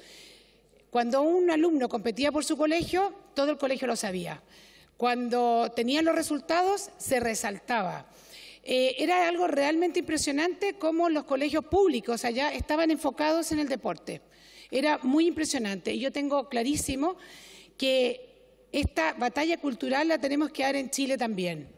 Porque todos sabemos que a través del deporte se consiguen múltiples cosas beneficiosas y positivas para nuestra sociedad un chiquillo, una niña deportista, es una niña que sabe de logros, sabe de metas, desarrolla virtudes, eh, tiene mucho menos posibilidades de caer en el tema de la droga, la delincuencia y, en definitiva, es un aporte para el Estado en vez de ser el día de mañana un costo para el Estado.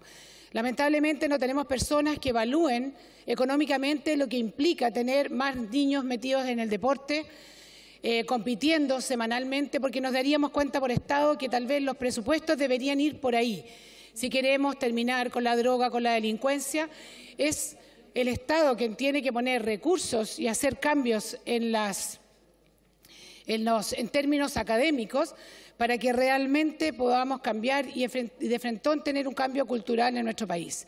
Yo apoyo, yo fui invitada a firmar este proyecto por la diputada Erika Olivera. Creo que son los proyectos que realmente cambian el futuro de nuestra sociedad y nuestro país. Y es por eso que espero que este no sea el primero y que realmente podamos, de alguna forma, tener un cambio cultural. He dicho. Muchas gracias, diputado Sandón. Tiene la palabra el diputado Cristian Tapia. Gracias, Presidenta. En primer lugar, saludar a nuestro ministro de Deportes, Jaime Pizarro. Gracias, ministro, por, estar acá y por la tremenda labor que está realizando en pos del deporte. Y este es uno de los proyectos que usted también ha estado apoyando, porque entendiendo la necesidad que tenemos en el país de compatibilizar lo que significa la educación con el deporte. Y aquí ya varios lo han dicho y lo hemos discutido también en la Comisión de Deporte, ¿por qué truncar aquellos talentos, aquellas personas que nos representan a nivel comunal, regional, nacional, en eventos que, que nosotros queremos que nuestro país siga avanzando. Queremos que el deporte eh, se siga materializando en cada rincón de nuestro país.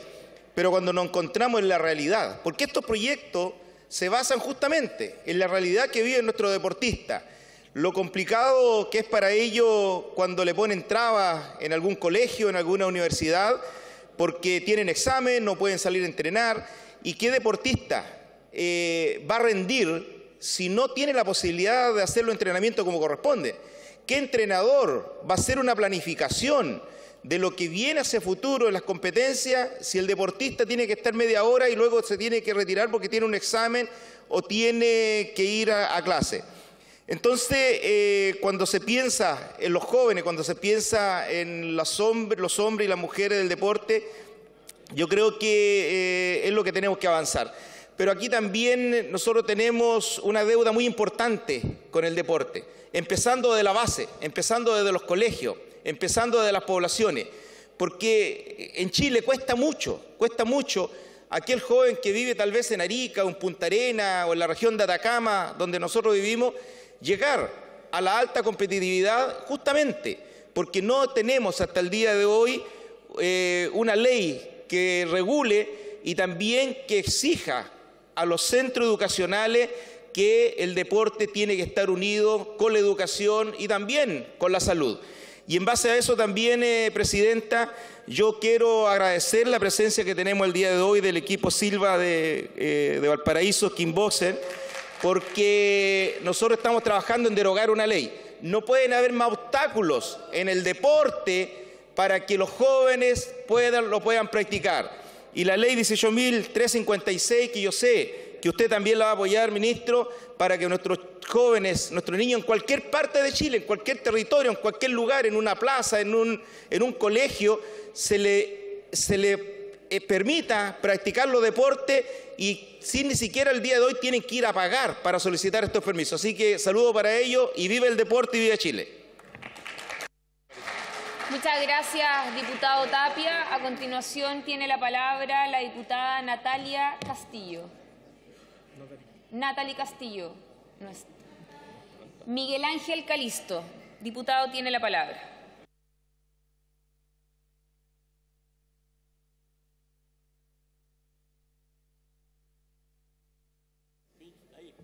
Muchas gracias, Presidenta. Sin duda, el deporte es una herramienta que no solamente permite la actividad física eh, y realizar el deporte, sino que además permite generar en las personas, en nuestros jóvenes, en nuestros niños, el temple, la garra, el equilibrio y muchos elementos que tienen que ver con la formación de la persona humana. Por eso que este proyecto eh, es tan importante, Presidenta. Quiero destacar la iniciativa que ha tenido la diputada Erika Olivera eh, de presentar este proyecto, porque justamente permite que los alumnos de los establecimientos educacionales que realizan deportes puedan compatibilizar la actividad deportiva con su formación educacional. Y por supuesto que por todos los argumentos que se han señalado acá, este proyecto, esta iniciativa cobra especial realce porque hoy día muchos estudiantes que compiten en esgrima, en natación, en fútbol, en ciclismo, en básquetbol y que representan muchas veces a nuestra región en distintas competencias nacionales e internacionales, tienen muchos inconvenientes para poder eh, después retomar sus estudios, eh, hacer sus pruebas y, y por lo tanto este proyecto va a facilitar y va a permitir que el Ministerio de Educación genere mecanismos y protocolos para esta compatibilización. Quiero aprovechar esta instancia, Presidenta, aprovechando que está el señor ministro don Jaime Pizarro, a quien saludamos con mucho gusto, eh, de poder también plantear que las barreras que tienen que atravesar los deportistas son innumerables.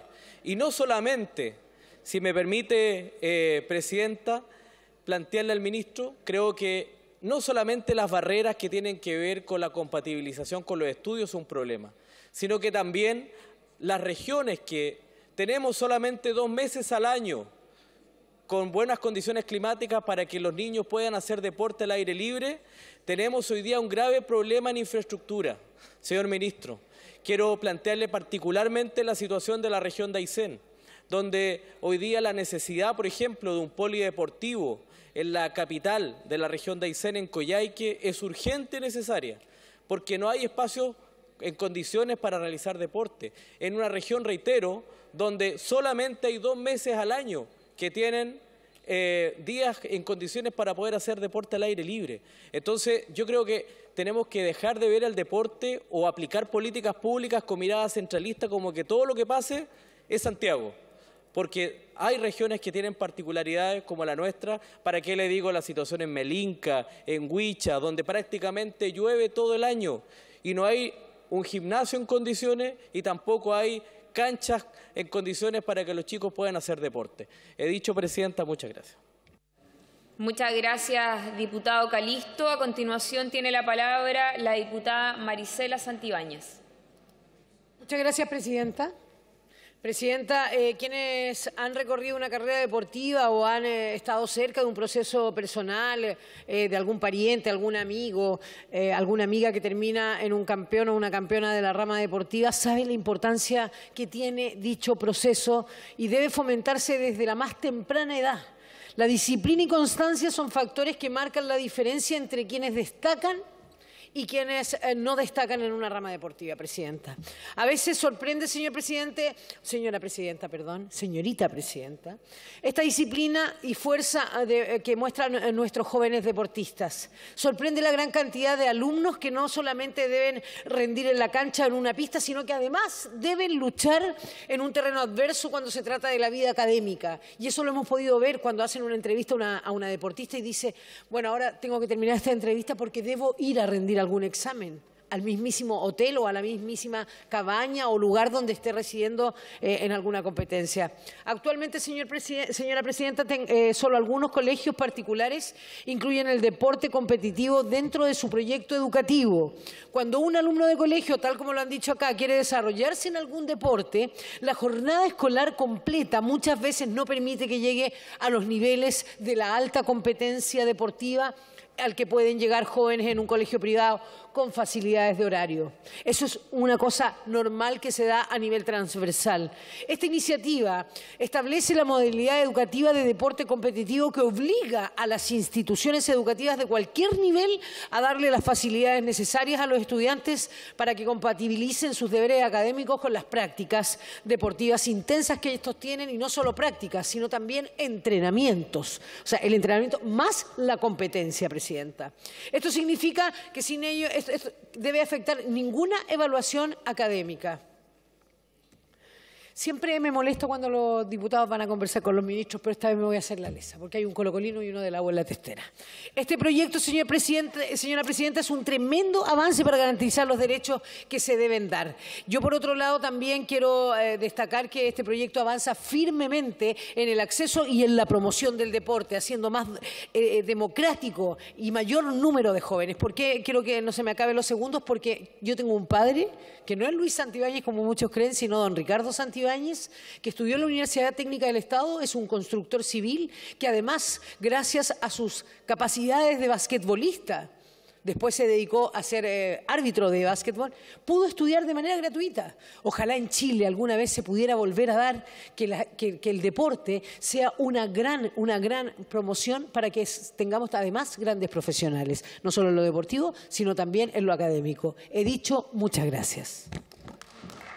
Muchas gracias, diputada Santibáñez. Tiene la palabra a continuación el diputado Bernardo Berger. Muchas gracias, señorita presidenta, honorable Cámara. Eh, Señorita presidenta, por su intermedio, deseo saludar, por supuesto, al ministro de Deporte, don Jaime Pizarro, que está presente en esta sesión. Señorita presidenta, fomentar el deporte desde temprana edad no solo promueve una vida saludable, sino que también contribuye a la formación de valores esenciales en la sociedad. Esta semana, como diputado, me comprometo con el bienestar, votaré a favor del proyecto que busca modificar las leyes de deporte y educación con el objetivo de garantizar que los establecimientos educacionales brinden las facilidades necesarias para combinar estudios y prácticas del deporte competitivo. El ejercicio físico, especialmente a través del deporte, potencia la función mental, la autonomía y la memoria, generando una sensación de bienestar y estabilidad en la personalidad. En este contexto, es alarmante que entre el 9 y el 16% de las muertes en países desarrollados están vinculados a un estilo de vida sedentario. Actualmente, nuestro sistema educativo establece las bases a través de la Ley General de Educación que contempla la enseñanza básica y media. Sin embargo, carece de enfoque en la formación de deportistas, a pesar de mencionar el fomento del deporte en su artículo quinto.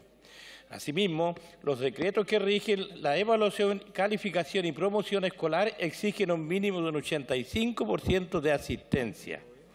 Es imperativo que nuestras leyes educativas evolucionen para reflejar la importancia del deporte como elemento fundamental en la formación de individuos saludables y responsables.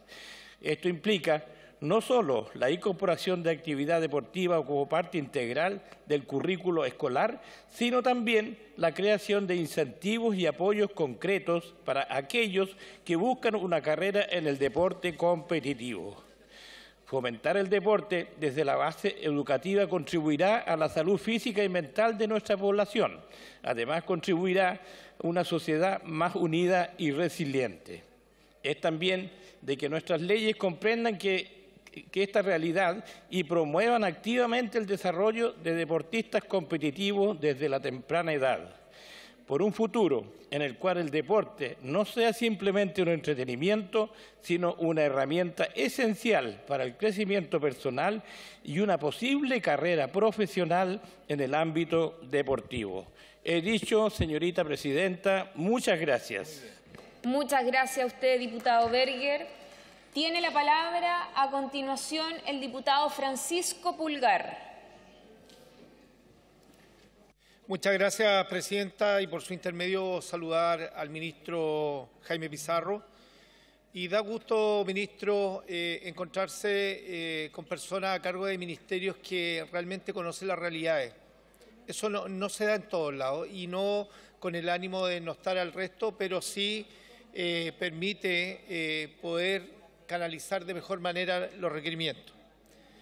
Vengo de una familia también de deportistas. Mi hija fue seleccionada nacional de voleibol por muchos años y vivimos todo este calvario respecto al tema de hacer las fiestas, los bingos, eh, solicitar plata, ayuda para los traslados y también para los alojamientos. ¿Y cuánto de esto ha cambiado durante estos años? No mucho, ministro, por su intermedio, presidenta, porque ahora mismo, el día de ayer hablé eh, con el presidente de un club de balonmano, don Augusto Yáñez, de Curicó, donde me representaba un caso de tantos, eh, que el de Sofía Ignacia Mujica Díaz, una joven de 15 años que estudia también eh, en, en el Colegio Luis Cruz Martínez de Curicó, fue seleccionada, es seleccionada, pero no están los recursos económicos para que ella viaje constantemente a las citaciones, eh, a los torneos, etcétera. Entonces, ministro, eh, usted, por su intermedio, presidenta, usted entenderá que esta situación eh, lamentablemente es repetitiva a nivel nacional, pero quiero sentarme ahí como, como un precedente. Necesitamos ayuda para esta jugadora porque más allá de ser un referente, es un caso de tantos que pasa en este país y me gustaría, eh, posterior terminada la sesión, entregarle todos los antecedentes de esta deportista. Lo mismo pasa con la Escuela de Fútbol de Celco, que también lleva el nombre de la gran empresa forestal, pero no recibe ningún aporte de, esta empresa. También eh, ayuda a deportistas eh, para salir de los temas de obesidad.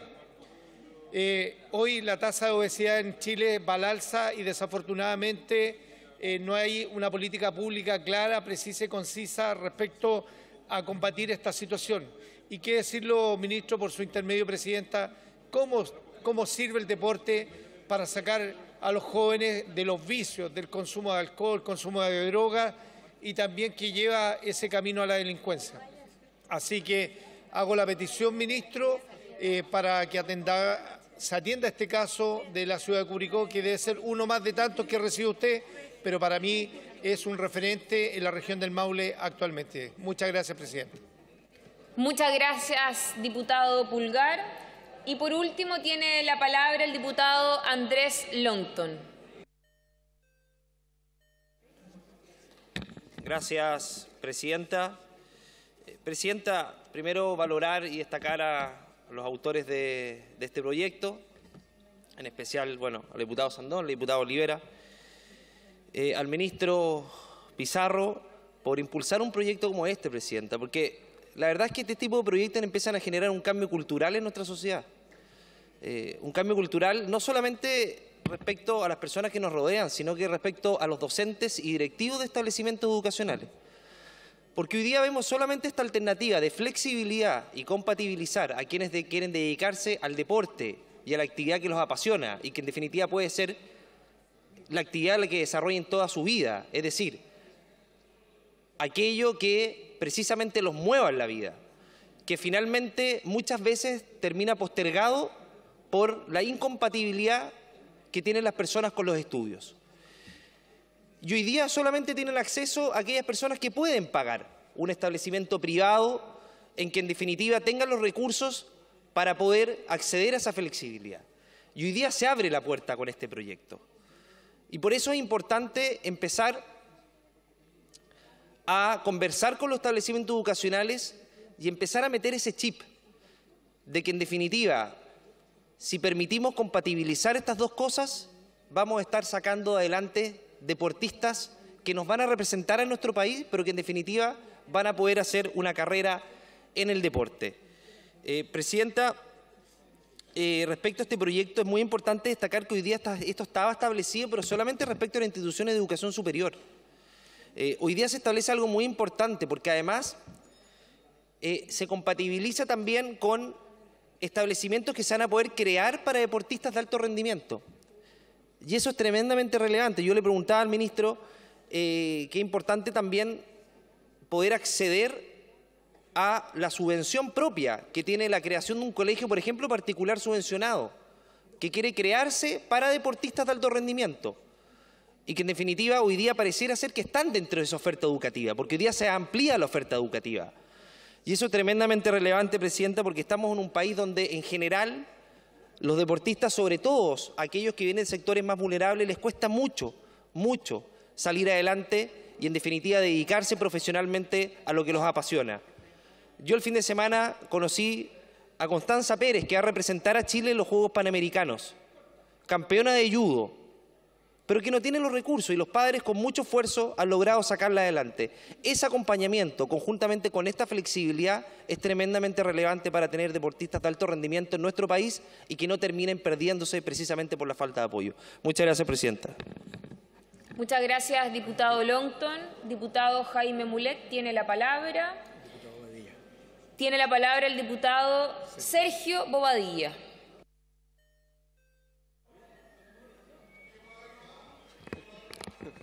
Tranqui, tranqui. Gracias, gracias, Presidenta, pero yo habría esperado una presentación igual como la que le hizo al diputado Ilavaca. Pero bueno, entiendo que no sea posible. ¿no? Presidenta, no, la verdad es que valoramos, valoramos esta iniciativa y la vamos a votar favorablemente porque viene a generar las condiciones para que efectivamente todos los estudiantes que tengan el interés de desarrollarse en algún deporte en particular y contribuir a tener una mejor representación en las diversas competencias nacionales e internacionales, le debemos generar las condiciones. Porque muchas veces nos quedamos en el discurso que el deporte es muy importante, pero no le generamos las condiciones para que los jóvenes puedan desarrollar sus aptitudes en las distintas disciplinas deportivas. Por eso, Presidenta, este proyecto creo que es un proyecto que va a generar mejores condiciones para que los estudiantes desarrollen sus habilidades deportivas. Pero en esto también, Presidenta, no basta con que se le den facilidades, sino que también, y aquí hago un llamado al ministro, para que generemos las condiciones desde el punto de vista económico, para que nos puedan representar en las distintas competencias muchos jóvenes que se ven impedidos por no disponer de los recursos.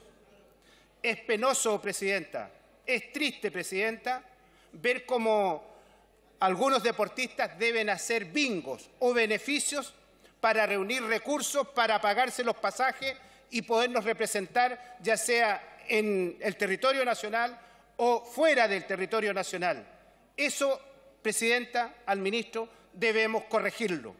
Debe existir un financiamiento para que todos y cada uno los deportistas que nos van a representar en las distintas competencias tengan a lo menos el financiamiento para los pasajes y no tengan que estar haciendo beneficios para financiar estos traslados que para ellos muchas veces es imposible de financiar.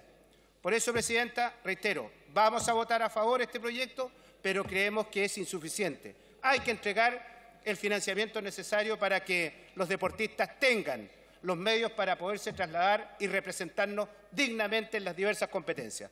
He dicho, Presidenta. Muchas gracias, diputado Bobadilla. No tiene la palabra el diputado Daniel Melo. Gracias, Presidenta. Por su intermedio, quisiera saludar al ministro de Deportes, don Jaime Pizarro, desearle éxito en su, en su gestión. Eh, la verdad es que este es un proyecto de ley muy relevante para las familias, pero por sobre todo para los deportistas, para nuestras jóvenes promesas. Y tengo la impresión de que esto efectivamente va a generar con mayores condiciones de equidad eh, para el desarrollo de la actividad deportiva de las y los jóvenes. No obstante, como bien se ha dicho acá, si bien esto es un primer paso para eh, equilibrar los estudios con la práctica deportiva de alto rendimiento, quisiera aprovechar la oportunidad para solicitar al, gobierno, y en este caso al presidente a través del ministro, eh, que pudiéramos hacernos cargo de la gran brecha que existe como barrera de entrada desde el punto de vista de los recursos económicos.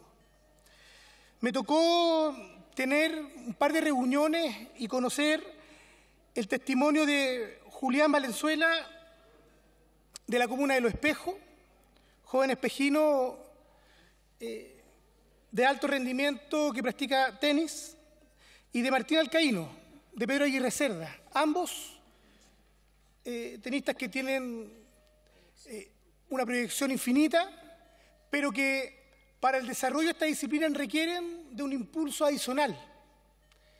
Y este impulso, si bien eh, las familias tienen la posibilidad de colaborar y, contribuir, eh, si no está el Estado, y quiero ponerlo a ellos como testimonio, si no está el Estado detrás de este tipo de, jóvenes, la verdad es que esos sueños se van a ver truncados. Entonces, esto es algo que se arrastra de gobierno en gobierno, no un problema en especial de este.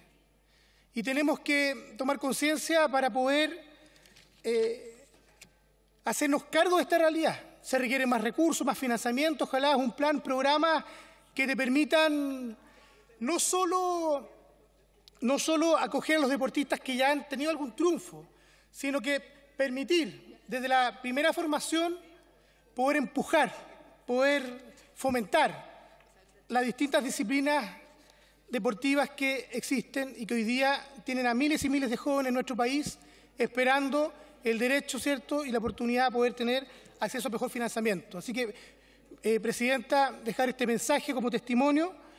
Creo que es importante que podamos poner al, al deporte como un derecho que el Estado lo pueda garantizar en todas sus disciplinas. Muchas gracias. Muchas gracias, diputado Melo. A continuación tiene la palabra el diputado Diego Chalper. Gracias, Presidenta. Saludar, por supuesto, al ministro Pizarro. Eh, a ver, ¿qué le puedo decir?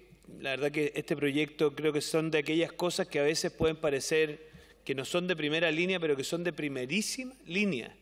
Yo creo que aquí queda demostrado la importancia que hayan parlamentarios que han sido además deportistas de alto rendimiento y que son capaces de levantar este tipo de temas como políticas que al final tienen que ver con, digamos, con, hacerse cargo de realidades que repercuten muy decisivamente en las comunidades. No será una novedad para el ministro Pizarro por su intermedio que en las localidades especialmente más vulnerables del país, aquellos que practican el deporte de manera profesional y de alto rendimiento son verdaderos testimonios para su entorno.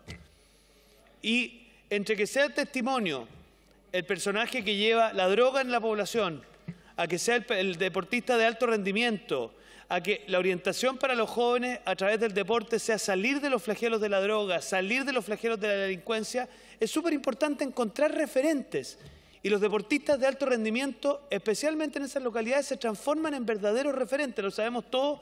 En el caso mío, me, acuerdo inmediatamente de algunos clubes de barrio, especialmente algunos lugares de Rancagua. Entonces me parece, Presidenta, por su intermedio al Ministro, que ojalá hagamos un plan integral pensando en esos términos.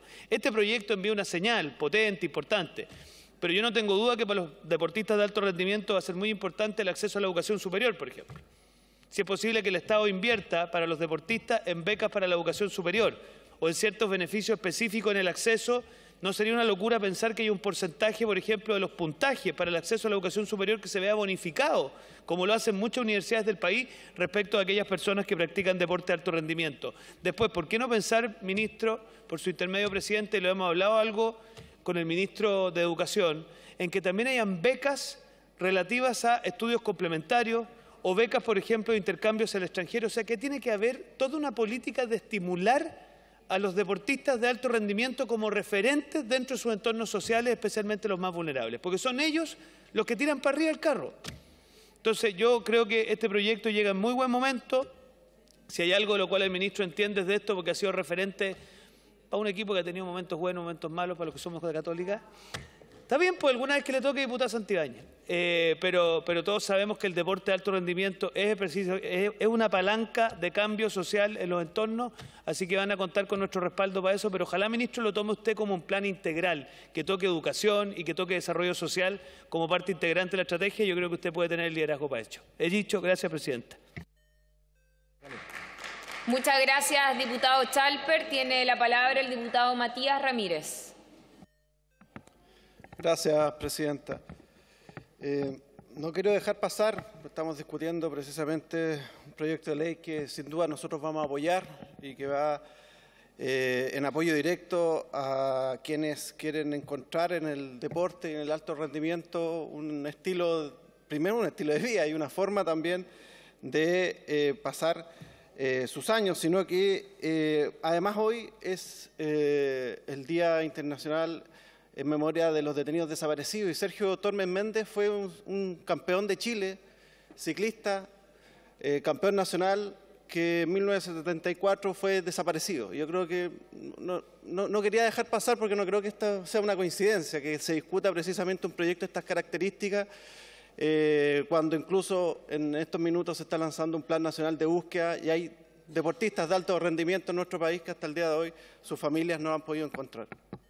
Eh, dicho eso, creo que efectivamente a mí me toca representar una región extrema de Tarapacá. Eh, y no solo hay una brecha sustancial respecto de la, posibilidad de que los deportistas se puedan efectivamente eh, en, su fase escolar dedicar en los tiempos suficientes, sino que también hay una brecha en cuanto a la infraestructura. Yo quiero poner solamente un ejemplo en la región de Tarapacá. Eh, tiempo atrás nos tocó en un gobierno anterior, fue una ministra del deporte y una de las tantos deportes, ramas que se dan en nuestra región son los deportes acuáticos. El waterpolo, sin ir más lejos, el Club Unión, eh, Unión Morro ha sido campeón nacional e internacional en reiteradas ocasiones. Y una de las demandas era la construcción de una piscina olímpica temperada, porque hasta la fecha en la región de Tarapacá no existe. Eh, y nos mandaron a nadar a la playa. Esa fue la respuesta, vayan y naden en la playa. Entonces, cuando queremos efectivamente incentivar a jóvenes que desde muy temprana edad hacen sus primeras herramientas, no solamente tienen que tener eh, la facilidad de los establecimientos escolares, sino que también tienen que tener la facilidad en cuanto a la infraestructura para poder desempeñar eh, dicha, eh, dicha, disciplina de la mejor manera posible. Y creo que ahí tenemos un gran desafío que avanzar. y me imagino que muchos parlamentarios de regiones extremas les pasa lo mismo que sin duda los, jóvenes que se dedican a alguna rama deportiva primero tienen que sortear una, brecha en cuanto a los permisos, en cuanto a la infraestructura y en cuanto a los traslados porque también deberíamos empezar a incentivar, por ejemplo, las ligas regionales o interregionales para que efectivamente no todos los torneos sean centralizados en Santiago, porque obviamente eso tiene un costo económico que es muy eh, potente para las familias particularmente. Eh, dicho eso, sin duda nuestra bancada eh, va a apoyar este proyecto, creemos que es una muy buena iniciativa y esperamos contar con un apoyo transversal. Muchas gracias, diputado Ramírez. Me ha solicitado la palabra el ministro del Deporte, Jaime Pizarro. Ministro. Muchas gracias, presidenta. Eh, he tratado de sintetizar algunos aspectos que aquí han sido señalados y que me parecen extremadamente significativos y relevantes. Vamos a tener unos juegos que van a tener en el aspecto panamericano 39 deportes y 60 disciplinas.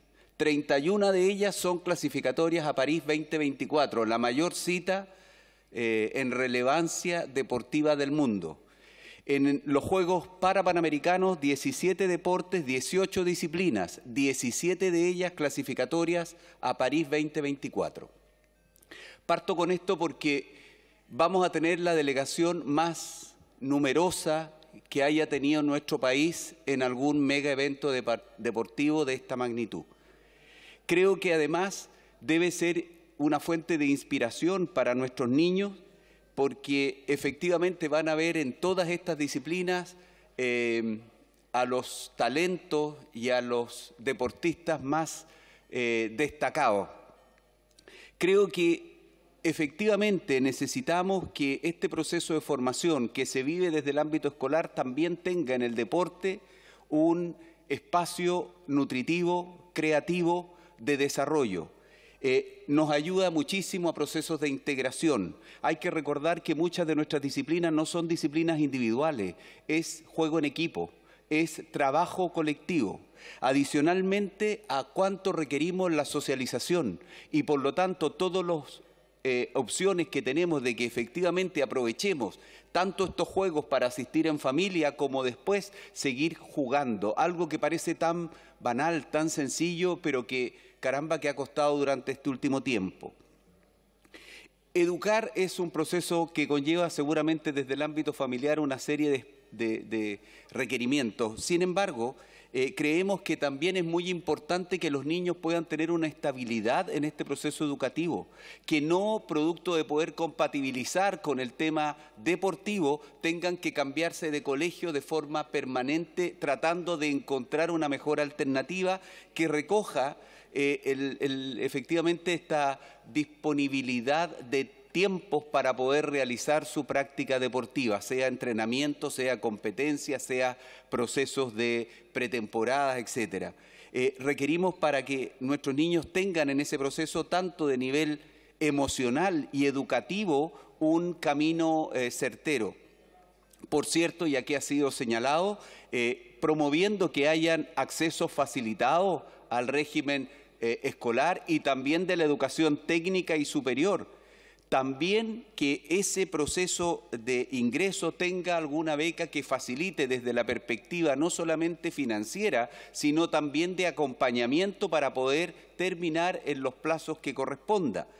Eh, el poder generar los calendarios adecuados, porque no sacamos nada que un joven o una niña deportista vaya a una competencia y cuando vuelve va a tener en una semana que ponerse al día con todo lo que pasó durante el último mes. Entonces, eh, creo que finalmente eh, el último punto que, alcanzo a señalar dice relación con ampliar la actividad escolar. Efectivamente, tanto desde el ámbito comunal, regional, para las finales nacionales, poder ampliar la cantidad de disciplinas que estén presentes, poder generar también esta competencia que a veces es interregional para evitar estos largos traslados y estos costos adicionales que eso pueda provocar. En resumen, creo que también eh, es generar este contexto donde la infraestructura pase a tener una relevancia en el buen uso, en la disposición, en los horarios eh, distintos y en poder alternar diversas disciplinas que puedan convivir en esos espacios. Eh, por último, señalar que efectivamente estaremos lo más atentos posibles para contribuir a que el financiamiento de nuestros deportistas eh, que viene dado por la gestión y priorización que establecen nuestras federaciones deportivas se pueda cumplir de la mejor manera posible. Por último, señalar que eh, de verdad em, desde la experiencia y tal vez hoy desde mi posición, simplemente agradecer la actitud, disposición, voluntad por esta temática, porque me parece que es extremadamente importante como un mensaje para nuestros niños y niñas deportistas. Gracias, presidente.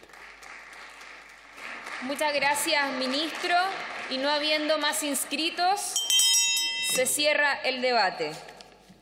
En quinto lugar, corresponde continuar con el debate del proyecto de ley originado en moción que modifica el decreto con fuerza de ley número 1 del 2005 del Ministerio de Salud para establecer la obligación de las ISAPRES de informar a la Superintendencia de Salud el aumento del precio de sus planes, correspondiente al boletín número 15.751-11. Para la discusión de este proyecto de ley se otorgarán cinco minutos a cada diputada y diputado que se inscriban para hacer uso de la palabra. Tiene la palabra la diputada Marta Bravo. Muchas gracias, presidenta. Este proyecto busca abordar un problema que afecta a una buena parte de los chilenos. Me refiero a todas aquellas personas que se encuentran afiliados a instituciones de salud previsional. Todos sabemos que la crisis que están enfrentando estas instituciones a causa de la sistemática presentación de recursos de protección por el alza de los planes es un derecho de todos. Con todo, me parece que debemos tener en cuenta la ley 21.350 que creó el índice referencial de costos de la salud, pues buscó dar objetividad a los elementos que se tienen en consideración a la hora de reajustar el precio base de los planes contratados. Sin embargo, esto no funcionó y la presentación de recursos subsistió porque las ISAPRES reajustaron su precio base al máximo posible. Por eso valoro este proyecto de ley, pues me parece que es un avance necesario para poder enfrentar la crisis de las ISAPRES porque pone límites tanto a estas como a los afiliados, todo con el fin de que el sistema no colapse, lo cual afectaría a miles de personas. Así, de cumplirse con los parámetros establecidos en la ley, el reajuste de precio base no podrá ser susceptible de un recurso de protección por faltar el requisito de la arbitrariedad. Voy a aprobar esta iniciativa, pues soy una convencida de que debemos trabajar conjuntamente para evitar el colapso del sistema de salud y poner nuestra atención en mejorar el sistema de salud pública, cuyo funcionamiento necesita mucho trabajo para poder garantizar una calidad superior de atención en beneficio de todos los usuarios. He dicho. Muchas gracias, Presidenta.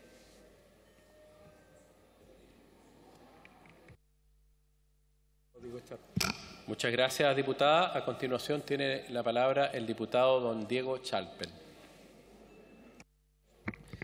Gracias, presidente. La verdad que respecto a lo que ha dicho la diputada que me antecede, hago propia las palabras. Obviamente que este es un proyecto que es un avance, pero quiero aprovechar este espacio, presidente, para referirme a lo que hoy día está pasando con la crisis de la salud, en particular lo que está ocurriendo respecto a la crisis de la prestación privada de salud a través de la CISAPRE. Me da a mí la impresión, presidente, que todos están aquí mirando para el techo en un problema que es extremadamente grave y extremadamente urgente. Si cae el sistema privado de salud, por mucho que pueda ser quizás el sueño de algunos en esta sala, la verdad que lo que se va a traducir es en una inmensa cantidad de afiliados que van a tener que recurrir a los establecimientos del Estado sin que los establecimientos del Estado tengan la capacidad de hacerse cargo de eso. Acá hay que asumir como un dato de la causa que solo es posible en Chile hacer prestación mixta de salud. Yo sé que a algunos eso no les gusta, pero es un dato de la realidad. Ya no es un tema ideológico, es un tema práctico, de realismo elemental. Me parece a mí, presidente, que acá pasan los días y todavía el gobierno no es capaz de tomar el liderazgo necesario para hacerse cargo de la tremenda crisis en la que estamos enfrentados.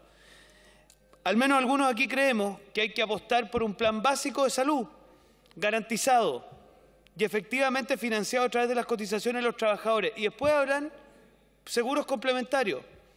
Pero si esas decisiones se van a tomar, que es bastante parecido al proyecto de reforma FONASA que en el gobierno anterior no se estuvo dispuesto a apoyar, que incluso incorporaba plazos fatales para las listas de espera, eh, pudiendo recurrir incluso a prestadores privados si era necesario, eh, si no se va a avanzar porque hay un tipo de prejuicio negativo respecto de eso, bueno, al menos que tenga claro el gobierno que no es posible prescindir de los prestadores privados de salud.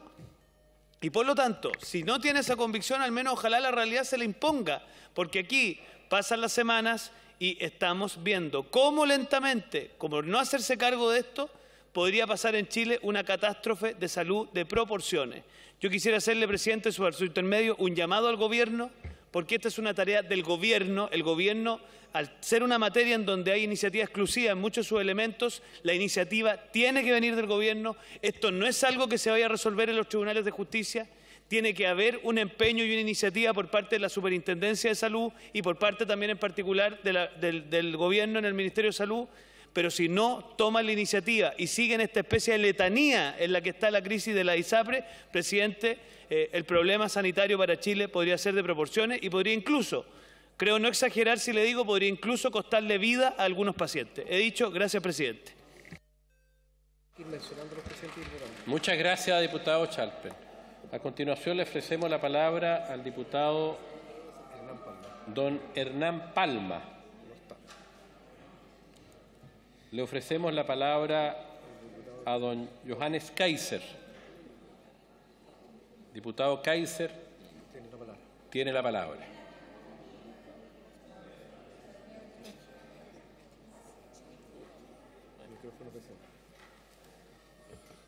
Muchas gracias, señor presidente.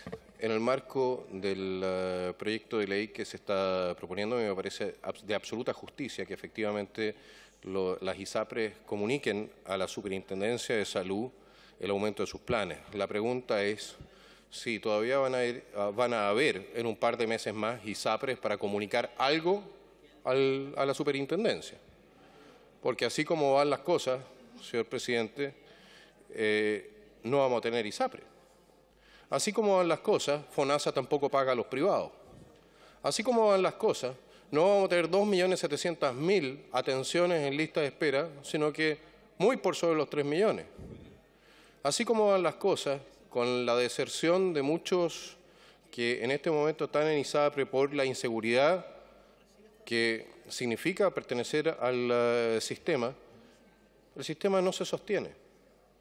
Y la verdad es que creo que vamos a estar legislando para un sistema que va a haber fenecido, que va a haber fallecido, junto con decenas de miles de personas, junto con clínicas, con prestadores privados que están siendo asfixiados por, los dos, por las dos fuentes de financiamiento que tienen, la fuente privada y la fuente pública.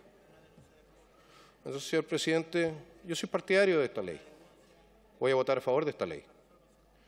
Pero es una ley que va a quedar sin objeto si este gobierno no se pone de una vez por todas las pilas y corrige las dificultades que está viviendo el sistema completo de salud, porque no es solamente el sistema privado el que está en crisis. El sistema público está en, en una crisis incluso aún mayor si es dable pensarlo. Y la gente se está muriendo porque no se hace lo que corresponde. Muchas gracias, señor presidente. Muy bien, diputado Kaiser. A continuación, tiene la palabra el diputado don Tomás Lago Marcino. Doctor, tiene la palabra. Muchas gracias, presidente. Efectivamente, el año pasado, 2022, conocimos dos fallos de la Corte Suprema. Un primero con respecto al reajuste de los planes base y un segundo con respecto a las tablas de factores de riesgo. La crisis en que están la ISAPRE es por la incapacidad que ha tenido el sistema político en su conjunto, el Ejecutivo, en diversos gobiernos, con este Congreso Nacional, en distintas legislaturas, de llegar a un acuerdo que nos permita avanzar no solamente a un sistema de salud solidario, sino también a un sistema de salud mucho más sustentable y estable en el tiempo. Lamentablemente esa incapacidad del sistema político ha empezado a ser subrogada por la Corte Suprema. Qué duda cabe de ello en sus múltiples fallos. Y en el primer fallo de la Corte Suprema del año 2022 nos dio luces con respecto a cómo justificar adecuadamente las alzas para que no sean medidas unilaterales por parte de cada una de las ISAPRES, sino que tengan una rigurosidad y, una, un análisis y una evaluación fundada en las características de nuestro sistema de salud, particularmente prestacional privado en cuanto a cómo cambian los precios en este sector. Ya el Congreso Nacional a través de la ley 21.350, estableciendo el tope máximo, había establecido lo mismo que yo señalo, el ICSA, que es un tope máximo, que para el año 2022 fue un 7.6% y para este año fue un 2.6%. Lamentablemente, el año 2022 la ISAPRES dieron nuevamente un muy mal ejemplo, cuando todas y cada una de ellas elevaron sus planes al tope máximo, a un 7.6%, lo que claramente no se condecía con la realidad que cada una de ellas estaba viviendo en cuanto a los precios del sector prestacional salud. Y es por ello que en ese primer fallo de la Corte Suprema del año 2022 se incluyó el proceso de verificación de la elevación de costos en el cual la excelentísima Corte Suprema instruyó al superintendente de salud, el doctor Víctor Torres, a que implementara un mecanismo en el cual le pedía la información a cada una de las ISAPRES de las razones por las cuales subía sus planes. Y en la medida que estos fueran adecuadamente justificados y atendidos en una serie de ítems, y no superasen el tope máximo, que para el año pasado fue un 7.6 y que para este año fue un 2.6, se podía realizar ese ajuste efectivamente. Esto que fue eh, ordenado por la Corte Suprema en el año 2022 fue realizado por la Superintendencia de Salud en dicho año y que fue nuevamente ejecutado durante este año 2023 permite cerrar definitivamente una de las tres aristas de judicialización de la ISAPRE. Reajuste de planes base, tablas de factores de riesgo, el segundo, y el tercero, primagias. Este proyecto de ley busca esta luz que nos dio la Corte Suprema con respecto a este mecanismo para cerrar una de las aristas de judicialización, hacerlo parte de nuestra institucionalidad legal en materia de salud y que no deba ser ordenado por una Corte de Chile, sino más bien sea implementado desde este Congreso Nacional. Es por ello y en esa luz que la Cámara de la Comisión de Salud de la Cámara de Diputadas y Diputados discutió este proyecto, lo aprobó de forma transversal y es por lo cual uno cree que finalmente este honorable Congreso Nacional y el sistema político en general tiene que buscar avanzar en ello para cerrar y finalmente darle estabilidad al sistema como lo hace este humilde proyecto de ley. Muchas gracias, presidente. Muchas gracias, señor diputado. Se encuentra en la tribuna de honor una delegación compuesta por integrantes de la Comisión de Cultura del Parlamento sueco, encabezada por el honorable señor Robert George Hanna. Junto a ellos se ubica el excelentísimo embajador de Suecia en nuestro país, señor Tomás Wickland. Ellos concurrieron a la Comisión de Cultura, Artes y Comunicaciones de nuestra Cámara, presidida por el diputado de la región de los lagos, don Alejandro Bernales. Muchas gracias, bienvenidos, señores.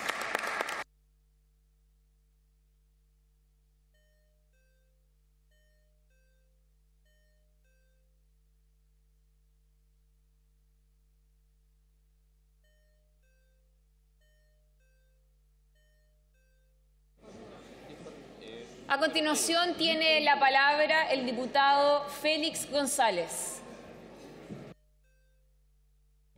Muchas gracias, Presidenta.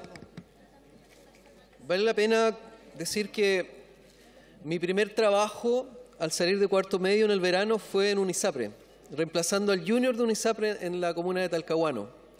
Y me bastó ese verano para darme cuenta, junto con los funcionarios y funcionarias que estaban ahí, eh, y aprender que las ISAPRES son solo un negocio y que había un peregrinaje de muchos usuarios y usuarias, porque no se pueden llamar beneficiarios, porque las la ISAPRES no benefician a nadie, em, reclamando por la falta de prestaciones en relación a lo que cubría la ISAPRE. Y creo que se ha dado un debate confuso, incluso un diputado de mi distrito, em, planteaba que podían, si desaparecían las ISAPRES, colapsar los servicios públicos de salud, eh, como los hospitales o los CESFAM, y lo que creo que es un debate que se debe aclarar, porque las ISAPRES no son un sistema de salud.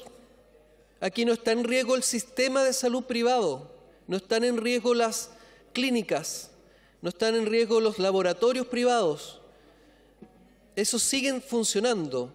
Las ISAPRES son una empresa de seguros. Eso es lo que son. La gente paga una prima mensual y cuando se enferma le cubren una parte del costo. Eso es un seguro en cualquier parte del mundo. El país puede funcionar sin las ISAPRES. Y además, las personas que ganan más son los clientes de las ISAPRES, o las ISAPRES los buscan. A las personas que ganan poco, las ISAPRES no los buscan. Entonces las personas que cotizan más están en las ISAPRES y, e históricamente las ISAPRES han ganado mucha plata porque prestan poco y recaudaban mucho. Ahora se han enfrentado a que les salieron al camino el Poder Judicial y como están acostumbrados a cobrarle muchísimo a las personas que pudieran eventualmente enfermarse, y lo dijo un eh, presidente de las ISAPRES, dijo, no podemos estarnos haciendo cargo de gente enferma, no sé si se acuerdan esa frase. Bueno, eso grafica muy bien lo que son las ISAPRES, son un negocio. Si las ISAPRES desaparecen, esas cotizaciones de la gente que gana más se va a ir a un seguro que es público, donde sí se puede hablar de beneficiarios, que es FONASA. Y eso nada tiene que ver con el lugar donde se hacen las prestaciones, sea una clínica privada, o sea un laboratorio privado, o sea un hospital público, o sea un CESFAM. Yo estoy en FONASA, Presidenta, y me puedo atender en laboratorios privados y en clínicas privadas, y FONASA igual me cubre. Y además está el beneficio, y que hay que reconocerle a este gobierno en particular, de eliminar el copago en las instituciones públicas. Por lo tanto, no se paga en el hospital a quienes tenemos el seguro de FONASA. Entonces creo, Presidenta, que hay que sincerar el debate y no decir que aquí está en riesgo la salud privada y asustar a las personas que se atienden normalmente en las clínicas privadas, porque aquí lo que pone en riesgo efectivamente a las clínicas privadas es que las ISAPRE no les paguen. Entonces, para poder salvaguardar a la ciudadanía, lo que hay que hacer es fortalecer el sistema público de financiamiento de la salud. Así que creo que este proyecto, Presidenta, va, en, en un buen sentido, pero no nos va a resolver el problema. Lo que tenemos que hacer es sincerar el debate y en algún momento ponerle el cascabel al gato y que la gente tenga garantizada la salud. Eso es lo importante, garantizar la salud y no cuidar el negocio de las ISAPRES. Gracias, presidente. Muchas gracias, diputado Félix González. A continuación tiene la palabra la diputada Elia Molina. Tiene la palabra el diputado Andrés Celis. Gracias, presidenta. La verdad que nadie se podría oponer a algo que es eh, de sentido común. El informar eh, mediante la página web de la superintendencia el aumento de los precios de los planes. Pero tampoco nadie puede negar lo que está sucediendo hoy día con la salud en términos generales.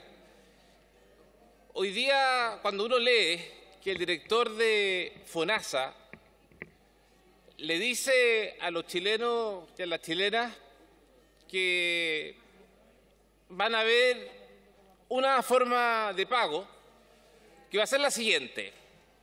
Nos notifica que la deuda actual a la salud privada son 300 mil millones de pesos.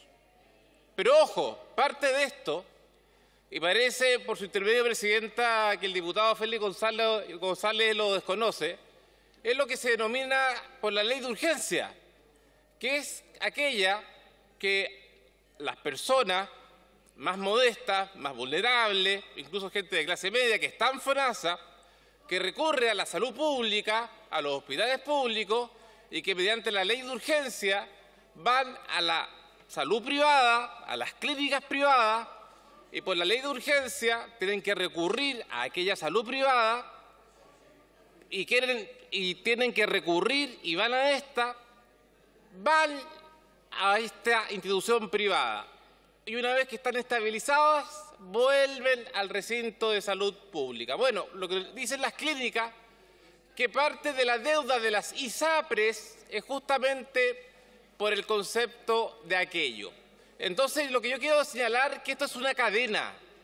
No es algo inocuo el que esta deuda que hay hoy día por parte del Estado de los 300 mil millones de pesos a las instituciones de salud privada sea algo que no vaya a afectar a la salud pública. Obviamente que en definitiva, si no se les paga a las instituciones de salud privada, los más afectados en definitiva va a ser la gente más vulnerable. ¿O ustedes creen que la gente que recibe más ingresos en este país está suscrita o está inscrita o paga eh, alguna cotización en ISAPRE? La gente más rica de este país no está en ningún ISAPRE. La gente más rica de este país tiene seguros de salud. No está en ISAPRE. el 2%, un 1% que tiene más recursos de este país, olvídense, paga seguros complementarios, paga seguros internacionales. Entonces, de verdad, yo llamo a la sensatez. Me parece que está fuera de discusión. Y aquí nadie se puede negar a que se publique y ojalá existan las ISAPRES. Pero por otro lado, yo llamo al presidente Boric a que por favor se apure, porque en noviembre es imposible que haya una ley corta para poder darle una salida al tema de las ISAPRES. Pero hoy día el realismo político nos dice que si no se le da una salida a lo que ocurre con el tema de las ISAPRES, es imposible que el sistema de salud de nuestro país pueda subsistir. Y le quiero notificar por su intermedia presidenta al señor Félix González, diputado, que las listas de espera hoy día son más extensas que hace dos, tres años. Y la única solución para aquello es que las clínicas privadas sigan subsistiendo. Y para que sigan subsistiendo es que, las ISAPRES también puedan seguir sobreviviendo. Y para que esa cadena pueda tener una consecuencia y un final, es que finalmente puedan pagarse, puedan cancelarse. Y para aquello el Estado debe pagar sus compromisos, debe cumplirse, porque si no lo hace, en definitiva, los más perjudicados serán los pobres de nuestro país. Y es inaceptable que el señor Boric notifique y diga que va a pagar en marzo del 2024 y cuando termine su periodo, porque cualquier persona decente, cuando hay una deuda, se paga, y sobre todo cuando está en riesgo la vida y la salud de la gente más vulnerable. Así que, señora, Presidenta, señorita Presidente, Presidenta, yo voy a aprobar este proyecto de ley, pero con el compromiso de que con la salud no se juega, y mucho menos con la gente más vulnerable y más modesta de nuestro país. He dicho muchas gracias. Muchas gracias, diputado. Diputado Cristian Araya, punto de reglamento. Sí, muchas gracias, Presidenta. Solo solicitar el acuerdo para que a continuación de este proyecto pudiésemos invertir el orden de la tabla y poner a continuación el proyecto que está en, en el número octavo, eh, que es un proyecto de seguridad. Hoy hemos visto hartos temas, pero estamos enfrentados a la peor crisis de seguridad de nuestra historia y abordar temas de seguridad debe ser, ojalá, una preocupación de todos los parlamentarios. Vamos a ver a continuación en unos segundos más si nos preocupa realmente la seguridad o no. Presidenta, le solicito eh, regale sí. el acuerdo. Diputado Araya, eh, tengo un problema práctico porque tengo cinco inscritos y la orden del día hasta las 12.40. Alcanzamos. Por lo tanto, tampoco vamos a alcanzar. Alca pero tratemos de regar el, el, acuerdo, Presidenta. ¿Hay acuerdo para.? No hay acuerdo. No me sorprende que el Frente Amplio y el Partido Comunista se opongan. Gracias, Presidenta. No hay acuerdo. Tiene la palabra el diputado Luis Sánchez. Muchas gracias, Presidenta. Bueno, eh, escuchar la intervención hace un rato del, eh, del, diputado González por su intermedio, Presidenta, llama la atención. Llama la atención porque pareciera que no conoce muy bien la, realidad de quienes sufren eh, la salud estatal en nuestro país. Eh, si fuera tan fácil atenderse por FONASA en, clínicas privadas, bueno, la gente no, no, estaría pasando esos malos ratos. Pareciera ser que el diputado González, por su intermedio, cree que, la gente va a pasar malos ratos por deporte, por gusto. aquí tenemos situaciones bien críticas en, en, mi región y yo me imagino que muchos de ustedes conocen también en, en, la suya. Particularmente tengo un caso de un hombre que fue literalmente asesinado por el, el, Hospital Gustavo Frique en, en Viña del Mar eh, por falta de atención eh, frente a una enfermedad bastante compleja. Eh, y esas son situaciones que, evidentemente no se ven a, ese nivel de gravedad en, la salud privada. Y, la actitud de, algunos diputados que dicen no, que, que desaparezca la ISAPRE, da lo mismo, se financiará de alguna manera la clínica, se financiará con, la plata que crece en los árboles. La, verdad no, se entiende porque no tiene ni pies ni cabeza. Este es un buen proyecto de ley, es un buen proyecto de ley porque establece eh, un deber no solo de, informar por parte del ISAPRE, sino que también mecanismos para la aprobación de eh, estos aumentos de los precios de, los planes. Eh, pero yo creo que necesitamos abordar desde el Congreso con un poquito mayor, eh, de, un poquito más de profundidad y de integridad cómo están girándose estos problemas en, eh, el eh, sector privado, en las clínicas en las ISAPRES, con una mirada muy clara puesta en ampliar la capacidad de cobertura eh, de la, las clínicas privadas, que ojalá más gente pueda atenderse ahí para descomprimir la atención estatal, porque más allá de la ideología de algunos presentes aquí en esta Cámara, el Estado no es capaz de atender ni siquiera la cantidad de gente que está hoy día yendo a atenderse eh, a la salud estatal. Si es un desastre, los hospitales públicos son un desastre, eh, lo, los consultorios son un desastre, esto funciona mal, bajo cualquier métrica, funciona pésimo. Y las clínicas están ahí para cumplir eh, un rol que podría ser eh, mucho más social. O sea, esto no debería ser un sistema solo para la gente rica o la gente que le sobra la plata. Si de verdad tenemos un sistema de salud al cual podemos echarle mano y el Estado puede destinar recursos para que la gente más pobre y la clase media se atienda ahí, que esto no sea solo eh, un tema de ley de urgencia no sea solo en eh, los casos más graves y que ni siquiera en los casos más graves, porque tenemos gente eh, que de verdad está siendo atendida en condiciones deplorables en, lo, en los hospitales estatales y que ni siquiera ahí los trasladan a, la- a las clínicas privadas. Entonces, yo de verdad me pregunto, ¿cuándo vamos a tener un poquito de sentido común aquí en el Congreso? Es por este tipo de temas que la gente se aburre de nosotros. Es por este tipo de temas que la aprobación del Congreso de la política en Chile está por el piso, porque no hay sentido común. No somos capaces de entender que a una persona que se está muriendo en un hospital público hay que trasladarlo a una clínica privada para que lo atiendan bien. No se entiende, nadie lo entiende que eso no ocurra. Por eso yo creo que este proyecto de ley avanza en la, dirección correcta, pero necesitamos mucho más sentido común con este eh, tipo de, problemas que tenemos en nuestro país y esto no se resuelve con una estatización total del sistema, no se resuelve dejando caer las ISAPRES, no se resuelve eh, creyendo en un mundo de fantasía de que eh, esto en el fondo todos los chilenos pueden ser atendidos por los hospitales públicos. No se resuelve de esa manera, se resuelve con sentido común. Muchas gracias, Presidenta. Muchas gracias, diputado. A continuación tiene la palabra el diputado Patricio Rosas.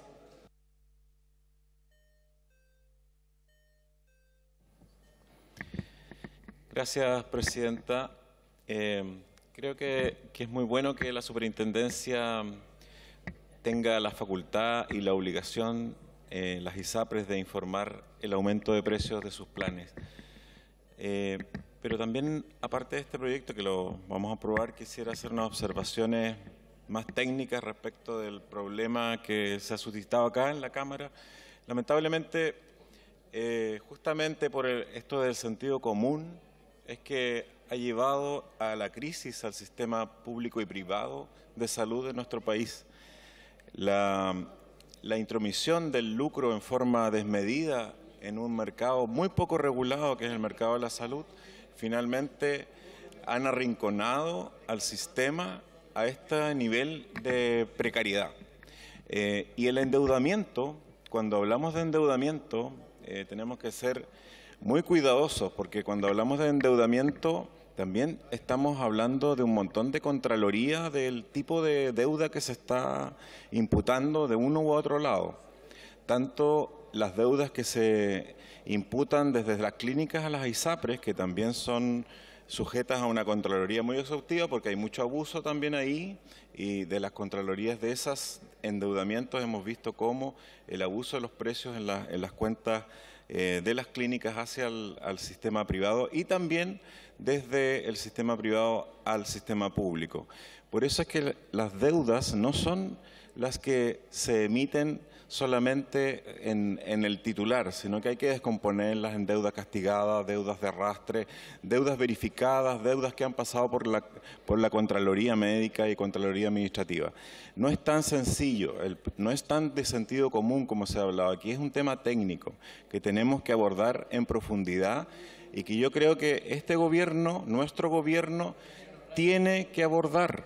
Tenemos que darle una solución. El sistema de pago entre sistemas públicos o privados puede funcionar bien. Hay muchas regiones en que el 70-80% de las prestaciones y de los aranceles que se transan entre el sistema público y el sistema privado son a través de los costos GRD que se llama, que son un, un costo que viene asignado también un nivel de ganancia proporcional y adecuado considerando eh, la prestación. Lamentablemente, como he dicho desde el inicio, el lucro que se ha instalado ha llegado a tanto que lamentablemente, como, como hemos constatado en muchos sectores de nuestra sociedad, la codicia en los mercados y la asimetría en los mercados nos ha generado un problema finalmente como sociedad. Y es así que hay clínicas eh, en que su arancel es tan caro que las personas en su copago, felices de que les descuentan de acuerdo a su ISAPRE y tienen que hacer un copago, el copago es esencialmente casi el doble del precio real.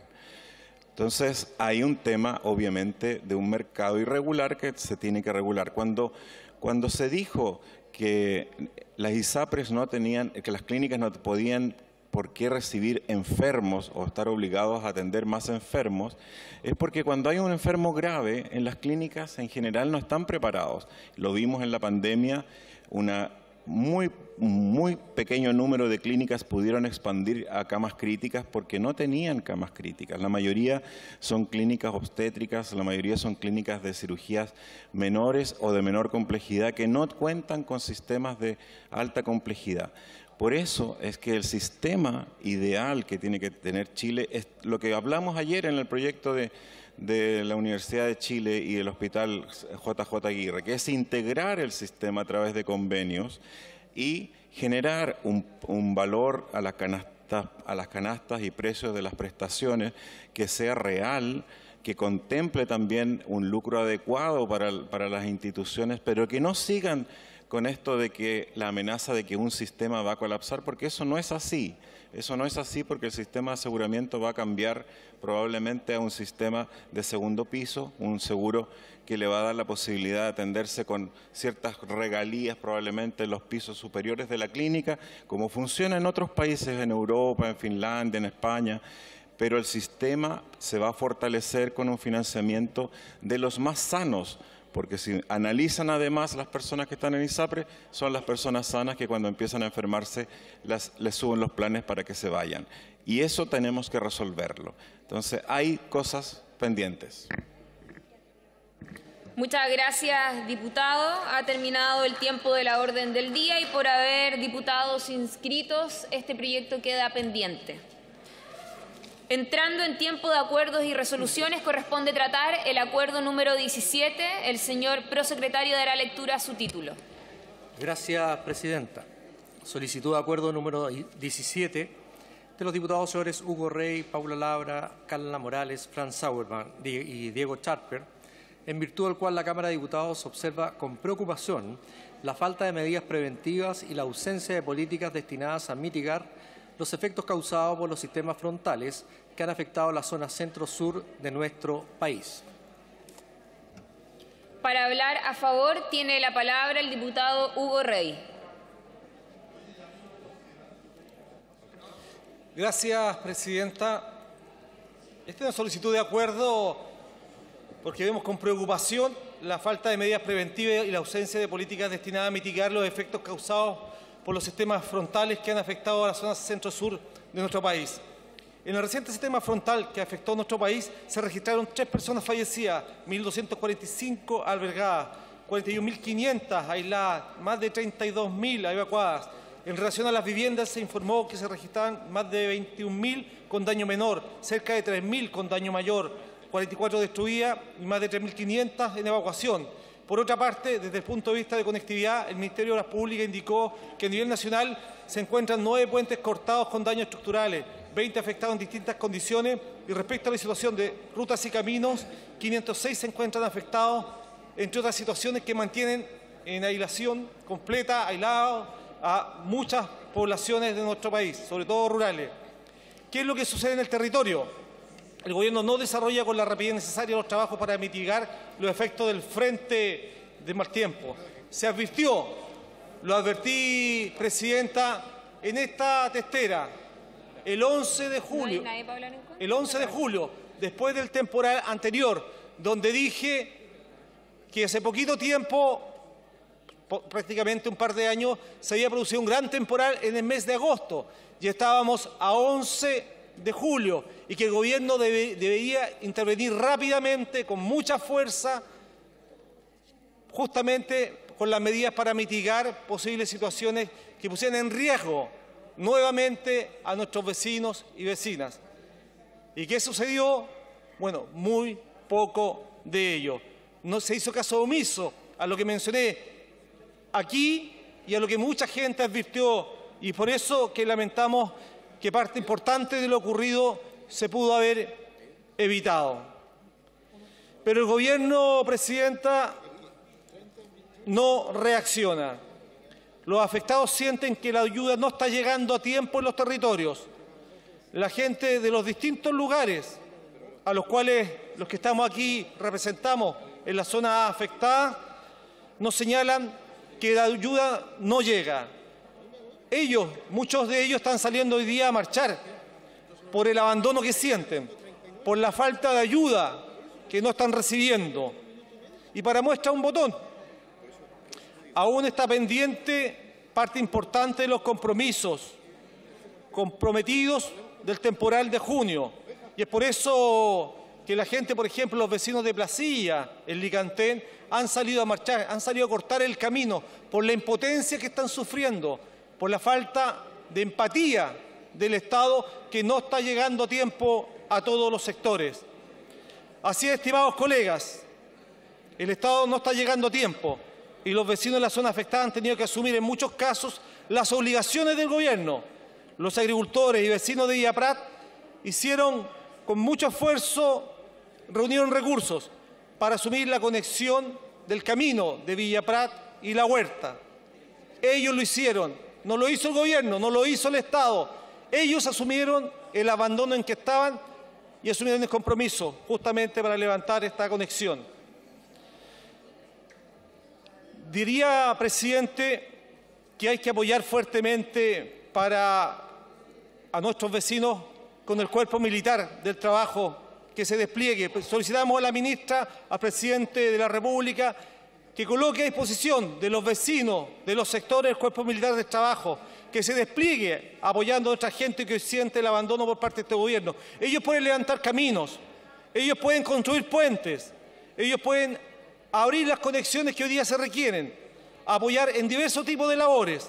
Por eso, presidente, le pido que apoyemos esta solicitud de acuerdo para que este gobierno de una vez por todas reaccione y ponga al cuerpo de militar del trabajo a disposición de las distintas comunidades del país, como Peo, Licantén, Molina, Roberal, Teno, Sagrada Familia, Curicó, Rauco, Bichuquén y muchos otros sectores en donde se necesita el apoyo de los militares y sobre todo del cuerpo militar del trabajo, porque necesitamos todavía mucha mano de obra que apoye a nuestros vecinos. Y ellos están disponibles y están listos para salir, pero necesitamos que el Gobierno y la ministra del Trabajo lo autoricen. He dicho, presidente, muchas gracias.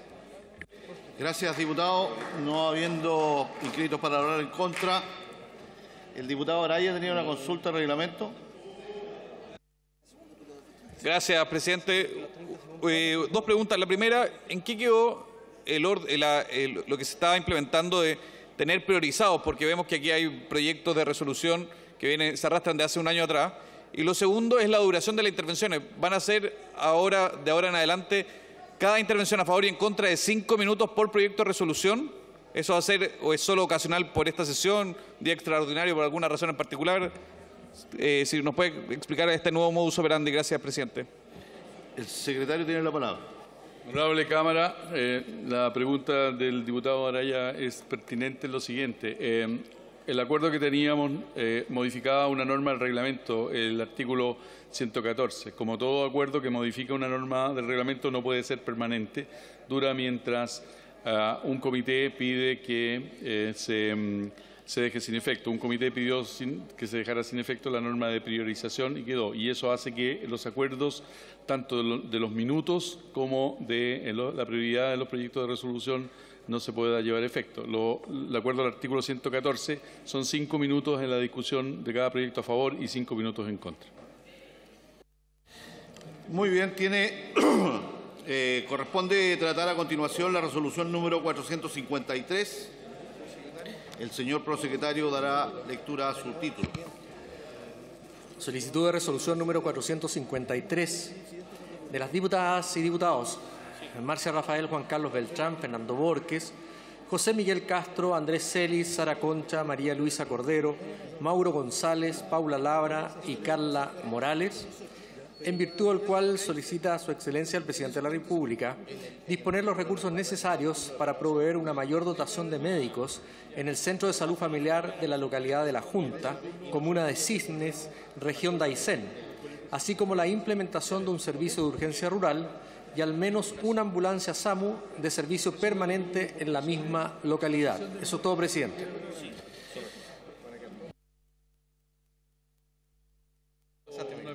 No hay inscritos para hablar ni a favor ni en contra. A continuación corresponde tratar la resolución número 454. El señor prosecretario dará lectura a su título. Solicitud de resolución número 454 de eh, los diputados y diputadas Francesca Muñoz, Sara Concha, Miguel Mellao, Carla Morales y Jimena Osandot, en virtud del cual solicita a Su Excelencia, el Presidente de la República, implementar una traducción al idioma inglés de todas las páginas web de instituciones y servicios públicos de la Administración, así como de la información y cifras económicas oficiales, con el objeto de fomentar el aprendizaje de dicho idioma y facilitar el acceso a esta información a los inversionistas extranjeros. Eso es todo, presidente. No hay inscritos para hablar ni a favor ni en contra. Corresponde a continuación tratar la resolución número 455. El señor prosecretario dará lectura a su título. Solicitud de resolución número 455 de los diputados y diputadas Marta Bravo, Álvaro Carter, Eduardo Cornejo, Felipe Donoso, Henry Leal, Daniel Lilayú, Cristian Moreira, Marlene Pérez, Natalia Romero y Marco Antonio Zulantay, en virtud del cual solicita a su excelencia al presidente de la República que en conjunto con el Ministerio del Trabajo y Previsión Social tomen todas las medidas necesarias para aumentar el monto de la pensión básica solidaria de invalidez. Eso es todo, presidente. Gracias, señor prosecretario. Para hablar a favor tiene la palabra la diputada Marta Bravo. Muchas gracias, presidente. Presenté esta solicitud en octubre del 2022 y lamentablemente las condiciones de vida de los chilenos que viven con una pensión básica solidaria de invalidez no ha mejorado. Bien sabemos que el año pasado el monto de la pensión básica solidaria de invalidez se comenzó a homologar al de la pensión garantizada universal y que este solo se reajusta en febrero de cada año, lo cual es insuficiente teniendo en cuenta el aumento del costo de vida que ha evidenciado durante el último tiempo. Esto se acentúa aún más en el caso de las personas que reciben una pensión básica de invalidez, pues tienen una situación que les imposibilita poder trabajar normalmente, por lo que en muchos casos dependen únicamente de esta ayuda para poder subsistir. Ellos necesitan una pensión digna que les permita afrontar las dificultades de su diario vivir. Por ello es que con este documento solicito que se implementen las medidas para aumentar el monto de la pensión básica solidaria de invalidez, pues las personas que sufren algún tipo de enfermedad o discapacidad física o mental que les imposibilita trabajar requieren contar con mayor apoyo económico por parte del Estado. Muchas gracias, presidente. Muy bien. Corresponde a continuación tratar la resolución número 456. El señor prosecretario dará lectura a su título. Solicitud de resolución número 456 de los diputados y diputadas Marta Bravo, Álvaro Carter, Eduardo Cornejo, Felipe Donoso, Henry Leal, Daniel Lilayú, Cristian Moreira, Marlene Pérez, Natalia Romero y Marco Antonio Zulantay, en virtud del cual se solicita a su excelencia el presidente de la República que en conjunto con los ministerios de Educación, Salud y Hacienda implementen una solución que permita aumentar el número de médicos especialistas en geriatría, otorgando los recursos económicos que sean necesarios para alcanzar ese objetivo. Eso es todo, presidente. Muy bien. Para hablar a favor se ha inscrito la diputada Marta, Bravo. Muchas gracias, presidente. El INE señala que en el año 2050 cerca de un tercio de la población de Chile estaría compuesta por personas mayores. Por tanto, me resulta irresponsable no anticiparnos a este escenario, dado que sabemos que estamos en proceso de envejecimiento demográfico acelerado, con un perfil nuevo epidemiológico Como médico puedo asegurar que si bien las patologías diagnosticadas durante la tercera edad pueden ser las mismas que afectan a los adultos, estas cambian en su frecuencia, expresión clínica y evolución con el paso de los años.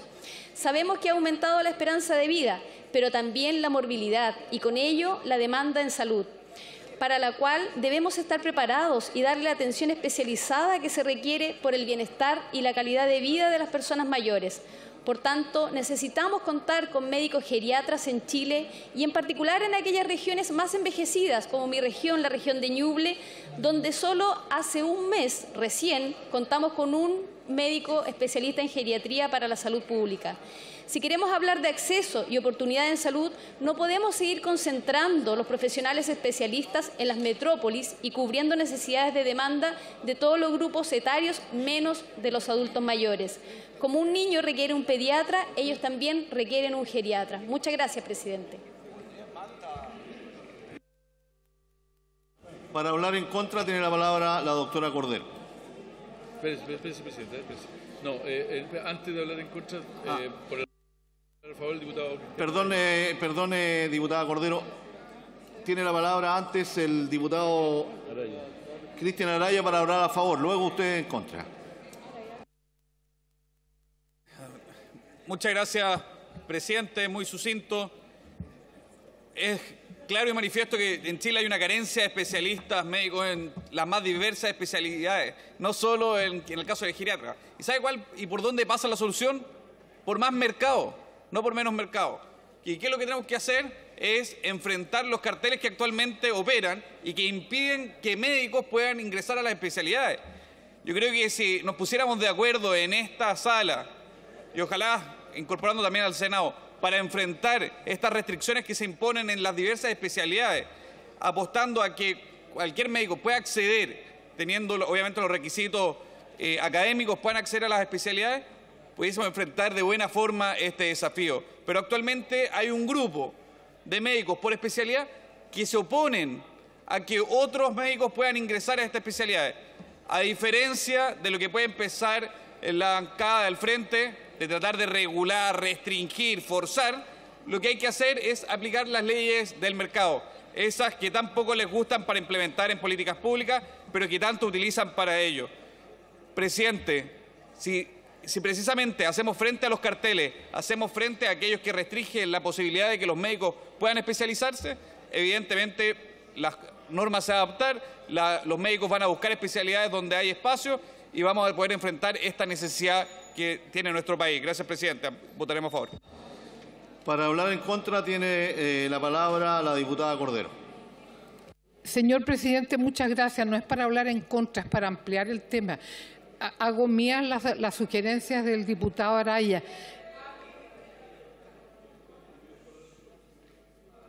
Usted pidió la, contra, sí, bueno, pidió la palabra para hablar en contra. No, lo que quiero decir es que yo tengo un programa en el Distrito 10 de los ancianos postrados y me he encontrado con un problema eh, y, los, y hago visitas domiciliarias y me preocupo de sus medicamentos.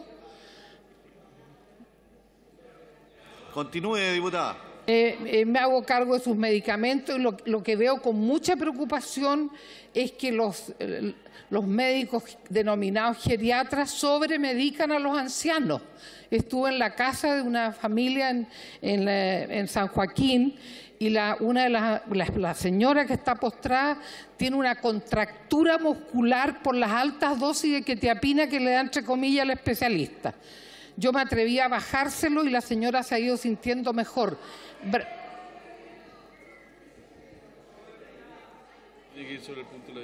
Bueno, le pido, eh, diputada, que vaya al y eso punto. que están de duelo. Las últimas palabras tiene que emitir la, la, la... Tiene que, vamos a retirar las últimas palabras y le llamo la atención, diputada. Le advierto. Siguiente. A continuación corresponde tratar la resolución número 457. El señor prosecretario dará lectura a su título. Solicitud de resolución número 457 de los diputados y diputadas Marta Bravo, Álvaro Carter, Eduardo Cornejo, Felipe Donoso, Henry Leal, Daniel Lilayú, Cristian Moreira, Marlene Pérez, Natalia Romero y Marco Antonio Zulantay, en virtud del cual solicita a Su Excelencia, el Presidente de la República, que tome todas las medidas necesarias para implementar centros especializados en neurodiversidad en niños y adolescentes. Eso es todo, presidente. Gracias, prosecretario. Para hablar a favor tiene la palabra la diputada Marta Bravo. Muchas gracias, presidente. La diversidad es parte de la humanidad. La convivencia social debe construirse bajo ese paradigma. Es por ello que cada día, gracias a los movimientos sociales, familias y personas con neurodiversidad, están visibilizando, sensibilizando y ganando espacios que permiten una inclusión real. La Ley 21.545, que establece la promoción de la inclusión, la atención integral y la protección de los derechos de las personas con trastorno del espectro autista en el ámbito social, de la salud y la educación, viene a ser la primera señal institucional que responde a las demandas primarias. Sin embargo, en la práctica, donde nace la primera necesidad es en la pesquisa del trastorno del espectro autista y después del diagnóstico en las terapias, las cuales son de alto costo y deben ser multidisciplinarias y permanentes para el pleno desarrollo potencial de niños y adolescentes. Sin embargo, el sistema público no cuenta con la infraestructura y el equipamiento para ello. Excelentes iniciativas como la del primer centro de neurodiversidad realizadas en Chillán se hacen insuficientes por la demanda que existe. Por tanto, se requiere la creación de centros especializados para niños y adolescentes con neurodiversidad, que entreguen la atención oportuna, de calidad multiprofesional a los menores y sus familias en todas las comunas del país para dar cumplimiento a los tratamientos necesarios para que el espíritu de esta ley tenga un brazo armado con el músculo que requiere sostener con fuerza a estos niños y sus familias. Por ello, Centro de la Neurodiversidad en todas las comunas del país es la respuesta que podemos entregar como Parlamento a quienes llevan décadas esperando. Muchas gracias, presidente. Gracias, diputada. ¿Quién quiere hacer punto? Diputada Orsini, punto de reglamento. Diputado Brito, punto de reglamento. Muchas gracias, presidente. Quisiera no tener que hacer este punto de reglamento, pero a raíz de lo que se acaba de decir en el debate por parte de la diputada Cordero por su intermedio, presidente, es que surge la duda de cu cuándo llegó o debería llegar la notificación de la Corte Suprema respecto al desafuero a la diputada en cuestión. Yo entiendo, yo entiendo, presidente, que los mismos que aplauden el bombardeo a la moneda ahora no griten y no dejen expresar nuestra preocupación, pero tenemos las garantías de poder realizarlo de acuerdo al reglamento y es lo que le solicito, presidente, porque es primera vez que estamos en una situación como esta y nos extraña que, habiendo estado anunciado que está desaforada, esté presente incluso participando del debate de esta sesión. Gracias, presidente. Le, le voy a dar la palabra al señor secretario para que explique la situación. Honorable Cámara, eh, se explicó con bastante detalle en la sesión eh, del día lunes eh, y pareciera ser que como no se, no se ha entendido con claridad voy a hacer bien específico. Las, las eh, eh, resoluciones judiciales sucidas se entienden eh, a firmes desde que están ejecutoriadas, es decir, de que están las personas que son, eh, se les aplica una sanción o se les aplica una medida, como en el caso del desafuero, son notificadas y, son, y es notificada la institución, que además en el caso de los desafueros de los diputados procede a notificar a los diputados. Esto ha sido así porque está en la ley. Mientras eso no ocurra, la Constitución establece la Constitución establece que cada eh, uno de ustedes tiene el legítimo derecho a ejercer las funciones que la ley le encomienda. Y en esa situación está la honorable diputada. Cuando, cuando la Corte Suprema firme la resolución, la va a mandar a la Corte de Apelaciones que nos tiene que notificar a nosotros. Y nosotros procederemos a notificar primero al afectado, en este caso, o afectado en su caso, y después se da cuenta a la sala. Y desde ese minuto, conforme a la Constitución, la persona queda suspendida del cargo.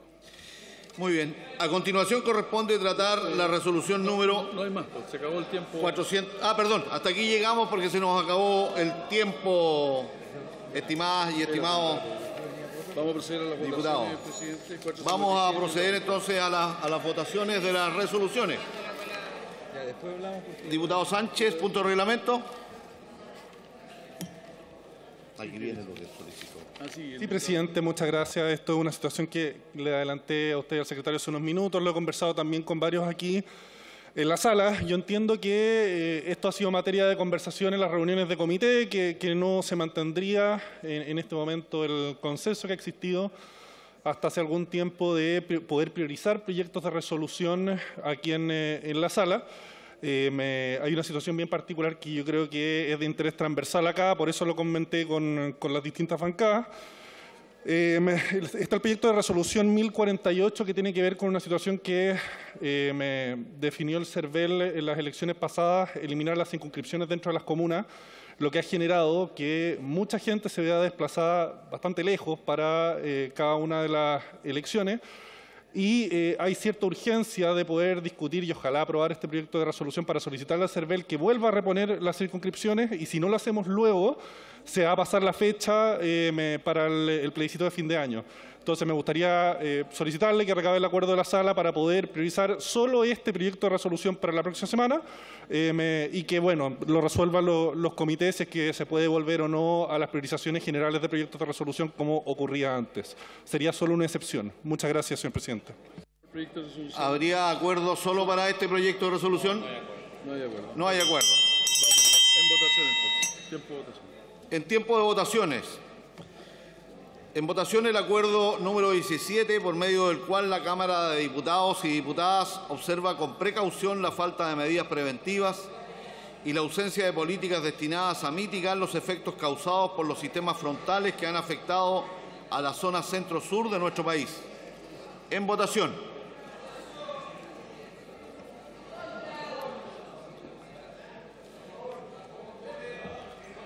¿Han votado todas y todos los señores diputados?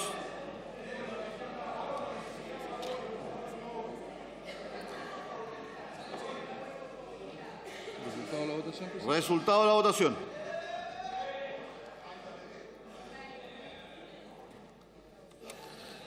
Por la afirmativa 80 votos, 27 en contra, 12 abstenciones. Aprobado.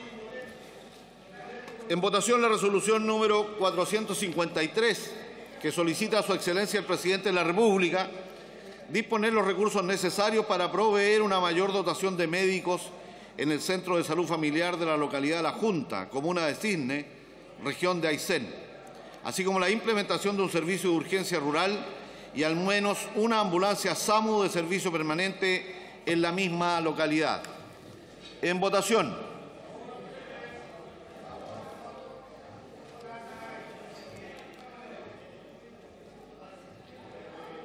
¿Han votado todos y todas las señoras diputadas? Resultado de la votación. Por la afirmativa 120 votos, una abstención. Aprobado.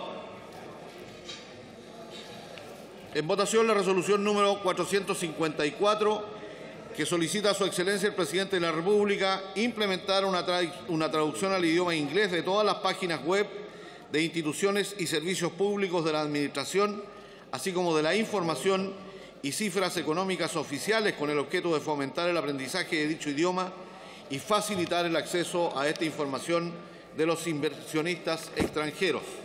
En votación. Yes. Of course. Of course.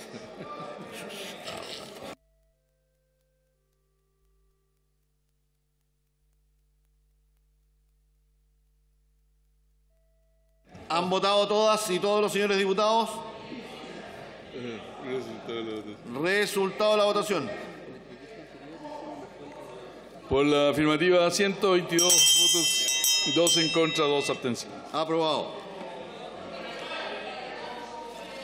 En votación la resolución número 455, que solicita a su excelencia el presidente de la República que en conjunto con el Ministerio del Trabajo y Previsión Social tomen las medidas necesarias para aumentar el monto de la pensión básica solidaria de invalidez. En votación.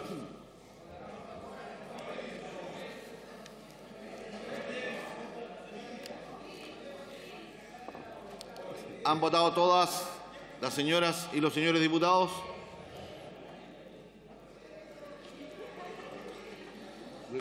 Resultado de la votación.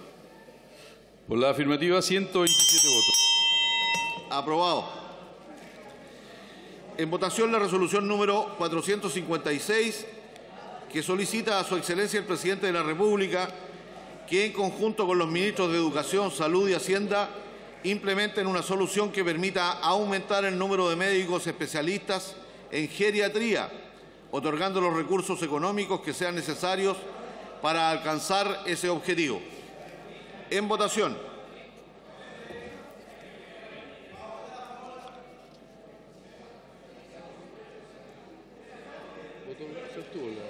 ¿Han votado todas las señoras y los señores diputados?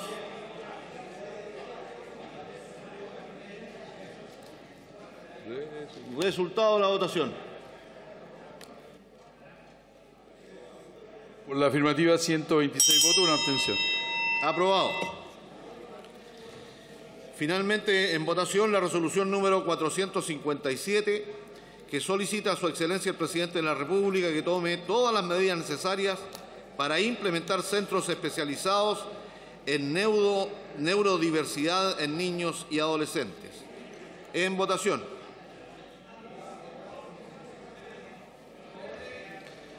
¿Han votado todas y todos los señores diputados?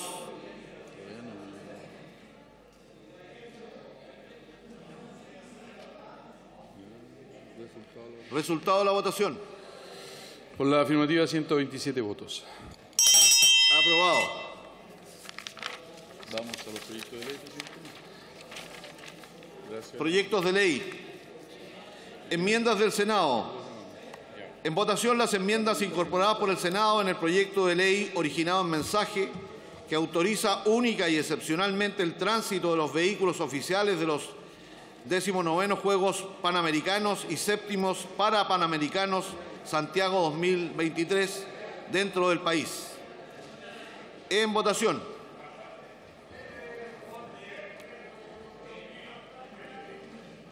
¿Han votado todas y todos los señores diputados?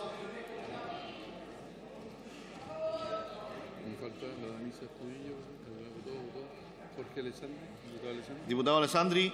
Diputado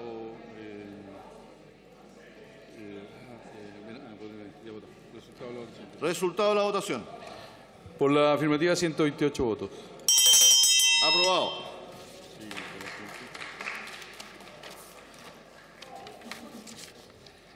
Votación general.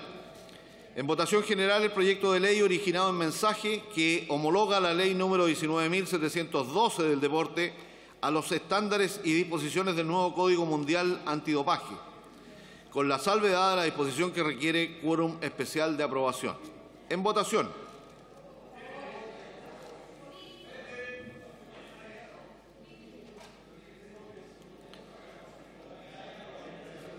¿Han votado todas y todos los señores diputados? La Marlene Pérez. Marlene Pérez. Diputada Marlene Pérez. Resultado de la votación. Por la afirmativa, 128 votos. Aprobado.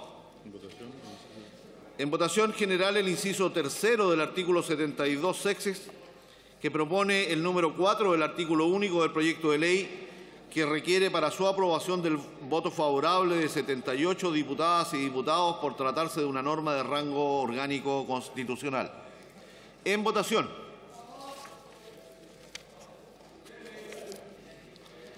¿Han votado todas las señoras y los señores diputados?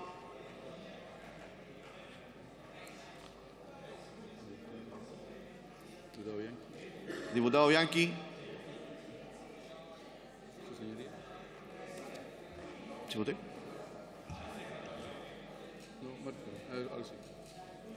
Resultado de la votación. Por la afirmativa, 128 votos, presidente. Aprobado. Por no haber sido objeto de indicaciones, el proyecto queda además aprobado en particular con la misma votación, dejándose constancia de haber alcanzado el quórum constitucional requerido. Se despacha el proyecto a ley.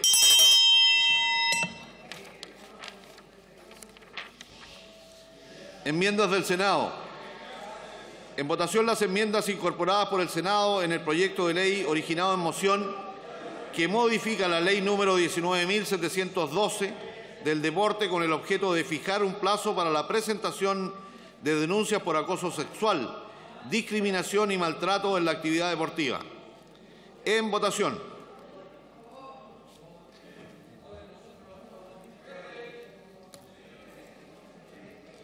¿Han votado todas las señoras y los señores diputados?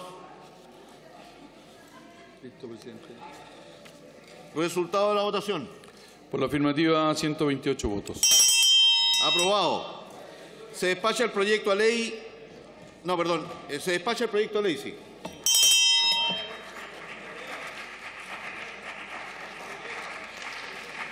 Votación general.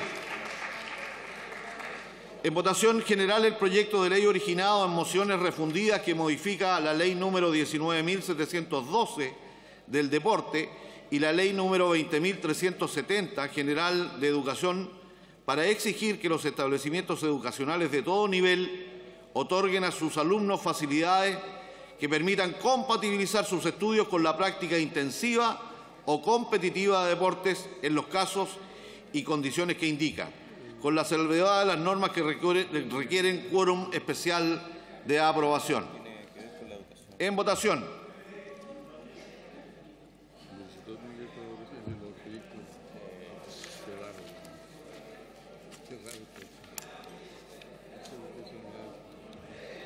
¿Han votado todas y todos los señores diputados? Diputada Rementería. ¿De Rementería? Diputado Rementería. Ya, presidente. Resultado de la votación. Por la afirmativa, 128 votos. Aprobado. Si le parece con la misma votación los dos transitorios. Si le parece con la misma votación los artículos transitorios. Aprobado. Por no haber sido objeto de indicación. Por no haber sido objeto de indicaciones, el proyecto queda además aprobado en particular con la misma votación, dejándose constancia de haberse alcanzado el quórum constitucional requerido. Incidentes. Se despacha el proyecto al Senado. Incidentes. Hora de incidentes. Ya, presidente.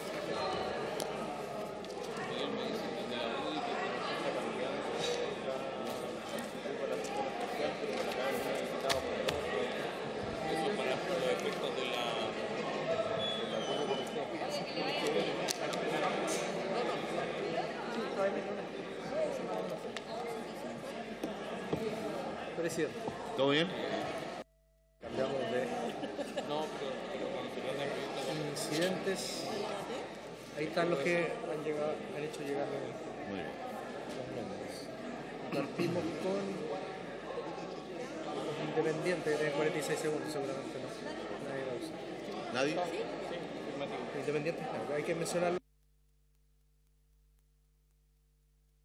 Entrando en tiempo de incidentes, tiene la palabra hasta por 46 segundos el Comité de Independientes.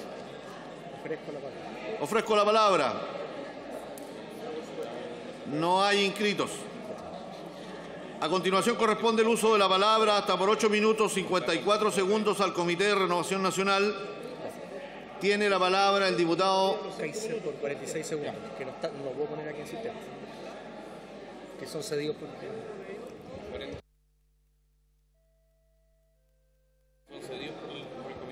Sí, Tiene la palabra el diputado Kaiser 39 segundos. hasta por 39 segundos. Muchas gracias, señor presidente. En virtud del artículo 52, número 1, letra A, inciso segundo de la Constitución, solicito información acerca de, en relación con aquellas 89 cajas con eventuales osamentas detenidos desaparecidos en dependencia de la Universidad de Chile que, posteriormente al 2019, fueron entregados al Servicio Médico Legal para su custodia, se oficia al Ministerio de Justicia para que informe a qué ministro o juez investigadores de causa de derechos humanos el Servicio Médico Legal comunicó la posesión de aquellas osamentas. Dos, asimismo, el antedicho ministerio se sirve informar cuáles de aquellos ministros o jueces investigadores antes referidos han ordenado al Servicio Médico Legal efectuar los respectivos procedimientos de identificación de las personas a que pertenecen aquellas osamentas, tanto como en qué roles de causas y la fecha de tal solicitud. Muchas gracias. Tenemos que ingresar el- al sistema la. Vamos a ingresar al, al sistema la votación solicitada por el, el diputado Kaiser. ¿Listo? ¿Está lista? En votación.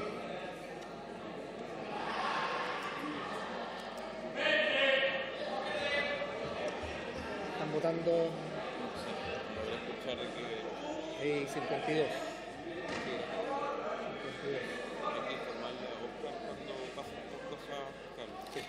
¿Han votado todas y todos los señores diputados? Resultado de la votación. Resultado de la votación. Con la afirmativa, 64 votos, 7 en contra, 3 abstenciones. Aprobado. Ahora en- seguimos con el tiempo de regla. Ahí está. Tiene la palabra hasta por tres minutos el diputado Miguel Mellado. Gracias, presidente. Presidente, me hago eco de una carta del eh, diario La Voz de Pucón, de Pucón, donde el concejal eh, Cristian Hernández expresa su preocupación porque ha mencionado, como siempre, que no se puede estar agrietando una industria de turismo prioritaria que genera la ascensión de más de 25 mil personas al año al volcán Villarrica, lo que da empleo directo a guías, operadores, ayudantes de guía, agencias, transportistas y personal de oficina, vendedores, bodegueros, lavanderías y otros. Sumado a ello, hay una, que cuantificar a todos quienes eh, se benefician indirectamente con la llegada de gente a la ciudad de Pucón abocada de visitas, hoteles, cabañas, hostales, restaurantes, cafeterías, tiendas, casinos, artesanías, mercados, servicios complementarios, instalaciones y otros oficios de esta comuna han ofrecido siempre gracias al volcán. Por estos días, el tremor, eh, para usar un técnico técnico muy propio de Cernogiamín, dice el concejal Hernández, y la inestabilidad ha tenido su epicentro en la fibra social, los gremios y el comercio local de Pucón, en una eh, afectación generalizada, lo que ha provocado en toda la comuna la prohibición de llegar al cráter del volcán Villarrica.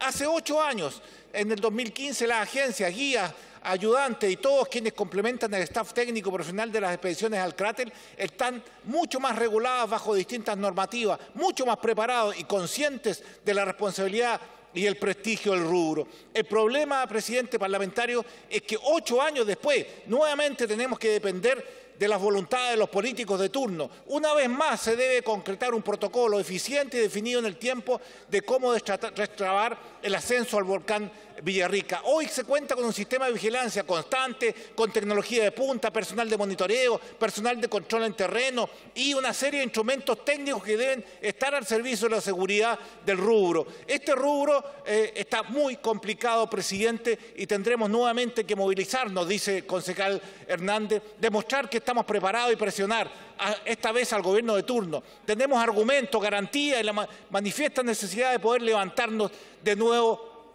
ante lo adverso. Hace él un llamado que me hago eco yo a- hacia ustedes, los parlamentarios, y a la subsecretaria de Turismo, que no existe en este país, a que las autoridades reconozcan que es indispensable para el desarrollo económico del país la región de la Araucanía y el corredor lacustre que Pucón. Su gente y las actividades turísticas del volcán vuelvan a funcionar en óptimas condiciones y con esto hacer cumbre otra vez en el volcán Villarrica. Pido, eh, presidente, que se le oficie a la subsecretaria de Turismo, al ministro de Economía de Sergio Gemín, para que de una vez por todas el ascenso al volcán Villarrica sea el turismo que mueva y sea el motor de desarrollo turístico de Pucón y la región de la Araucanía. De hecho, presidente, muchas gracias. Gracias, diputado. Tiene la palabra el diputado Hugo Rey hasta por dos minutos 54 segundos. Muchas gracias, presidente. En gran parte de la zona afectada por el Frente Mal Tiempo, la ayuda del gobierno no está llegando. Pero lo más grave aún es que hay afectados, como los pequeños agricultores de todo el Maule, que perdieron sus cosechas en el primer Frente de Mal Tiempo. Otros que perdieron sus eh, cosechas, sus plantaciones en el segundo frente, que recién acaba de pasar. Todos ellos se endeudaron para producir y hoy lo han perdido todo. Además de no poder pagar, sus créditos quedaron de brazos cruzados, muchos desde junio. No tienen cómo producir recursos, no tienen ingresos. La agricultura familiar campesina está en la quiebra. Necesitan del apoyo del gobierno, un apoyo urgente, que el Estado reaccione como corresponde.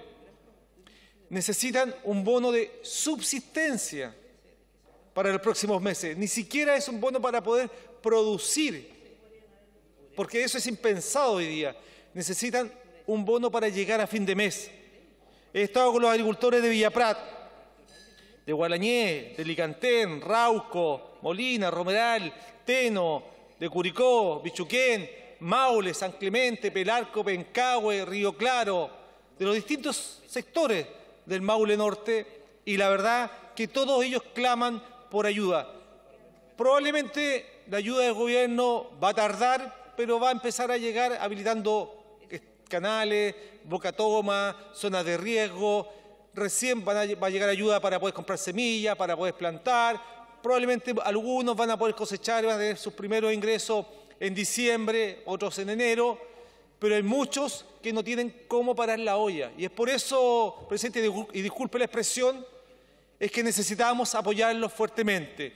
Nuestros agricultores son el corazón del Maule. Nuestros agricultores son los que producen la mayor cantidad de trabajo, dan trabajo para la subsistencia de muchas familias, pero hoy día ellos no cuentan con nada. Y es por eso que solicitamos este abono de subsistencia y que esperamos que el gobierno entre en la lógica de lo que está pasando, se ponga la mano en el corazón y realmente entienda y comprenda qué es lo que pasa con la agricultura campesina en nuestra región del Maule. He dicho, presidente, muchas gracias. Gracias, diputado. Tiene la palabra el diputado Mauro González por tres minutos. Gracias, presidente.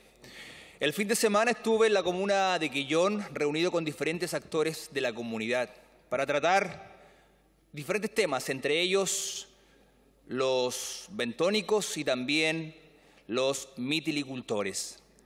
El día de ayer, la Corte de Apelaciones de Coyhaique dejó sin efecto la orden de no innovar que impedía a los pescadores de la región de los lagos volver a acceder a la zona contigua. Si bien es una muy buena noticia, también esperamos que el fondo del recurso se resuelva en favor de la pesca bentónica. Pero debo insistir, presidente, que el tema de zona contigua debe ser subsanado de manera definitiva a través de la ley porque no podemos mantener a las familias en una permanente incertidumbre. Algunos datos laborales de Guillón, por ejemplo, presidente. 2.523 pescadores artesanales, 343 embarcaciones, 902 buzos mariscadores, 4.485 recolectores de orilla, 26 plantas ericeras, 126 descargadores de puerto, 25 camionetas fleteras, entre otros todo vinculado a la extracción de los recursos erizo, luga roja y almeja.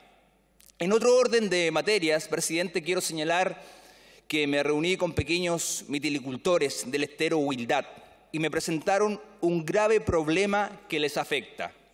Precisan que en el 2009 se planteó a la autoridad la necesidad de ordenar y relocalizar todas las concesiones. En el 2011, es decir, dos años después, de su requerimiento se les informa que la Contraloría General de la República prohibió modificar la ubicación de las concesiones porque no existía una ley que lo permita.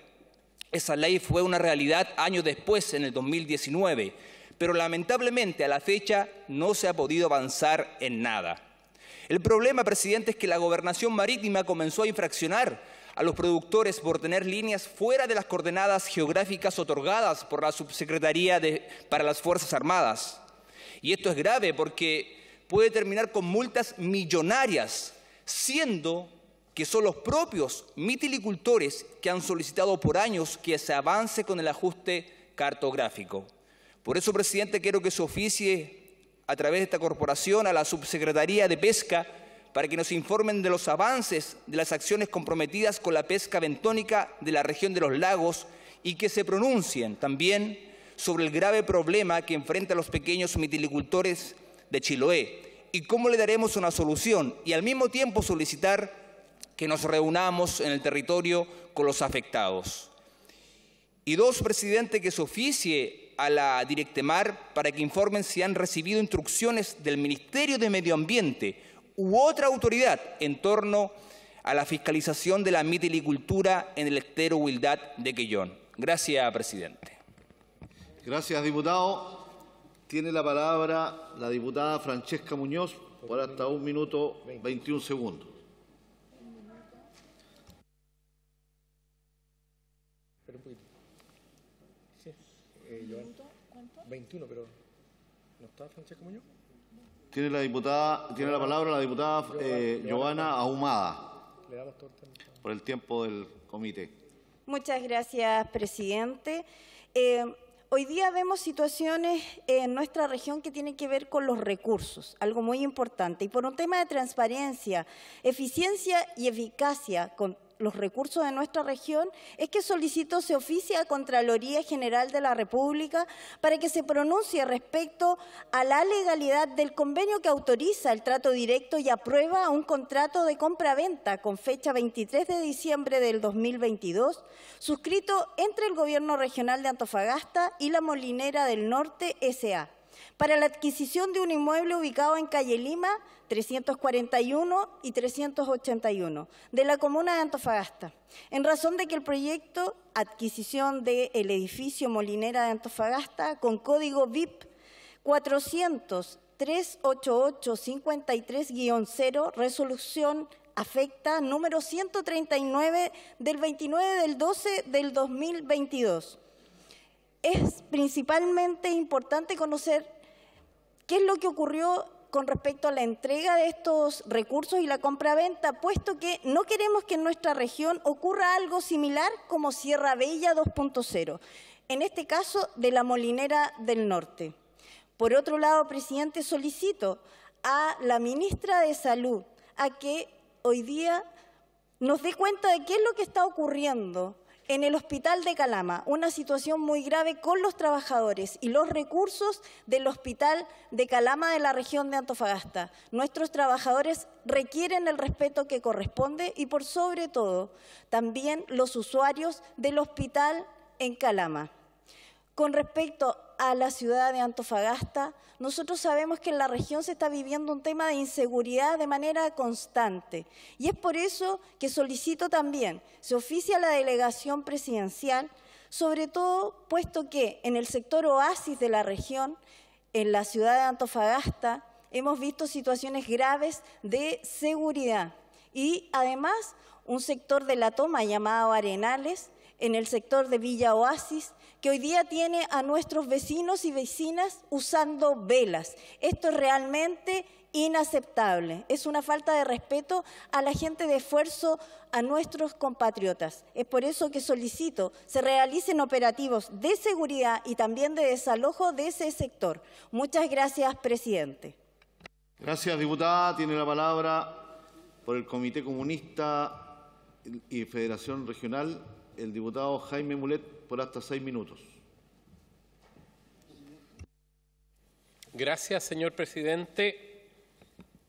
Estimados colegas, uno de los problemas que se ha planteado a propósito de la crisis política que vive el país durante los últimos años, yo diría con claridad durante los últimos tres gobiernos, tiene que ver con la relación entre el Poder Legislativo, el Parlamento, las dos cámaras, y el Ejecutivo.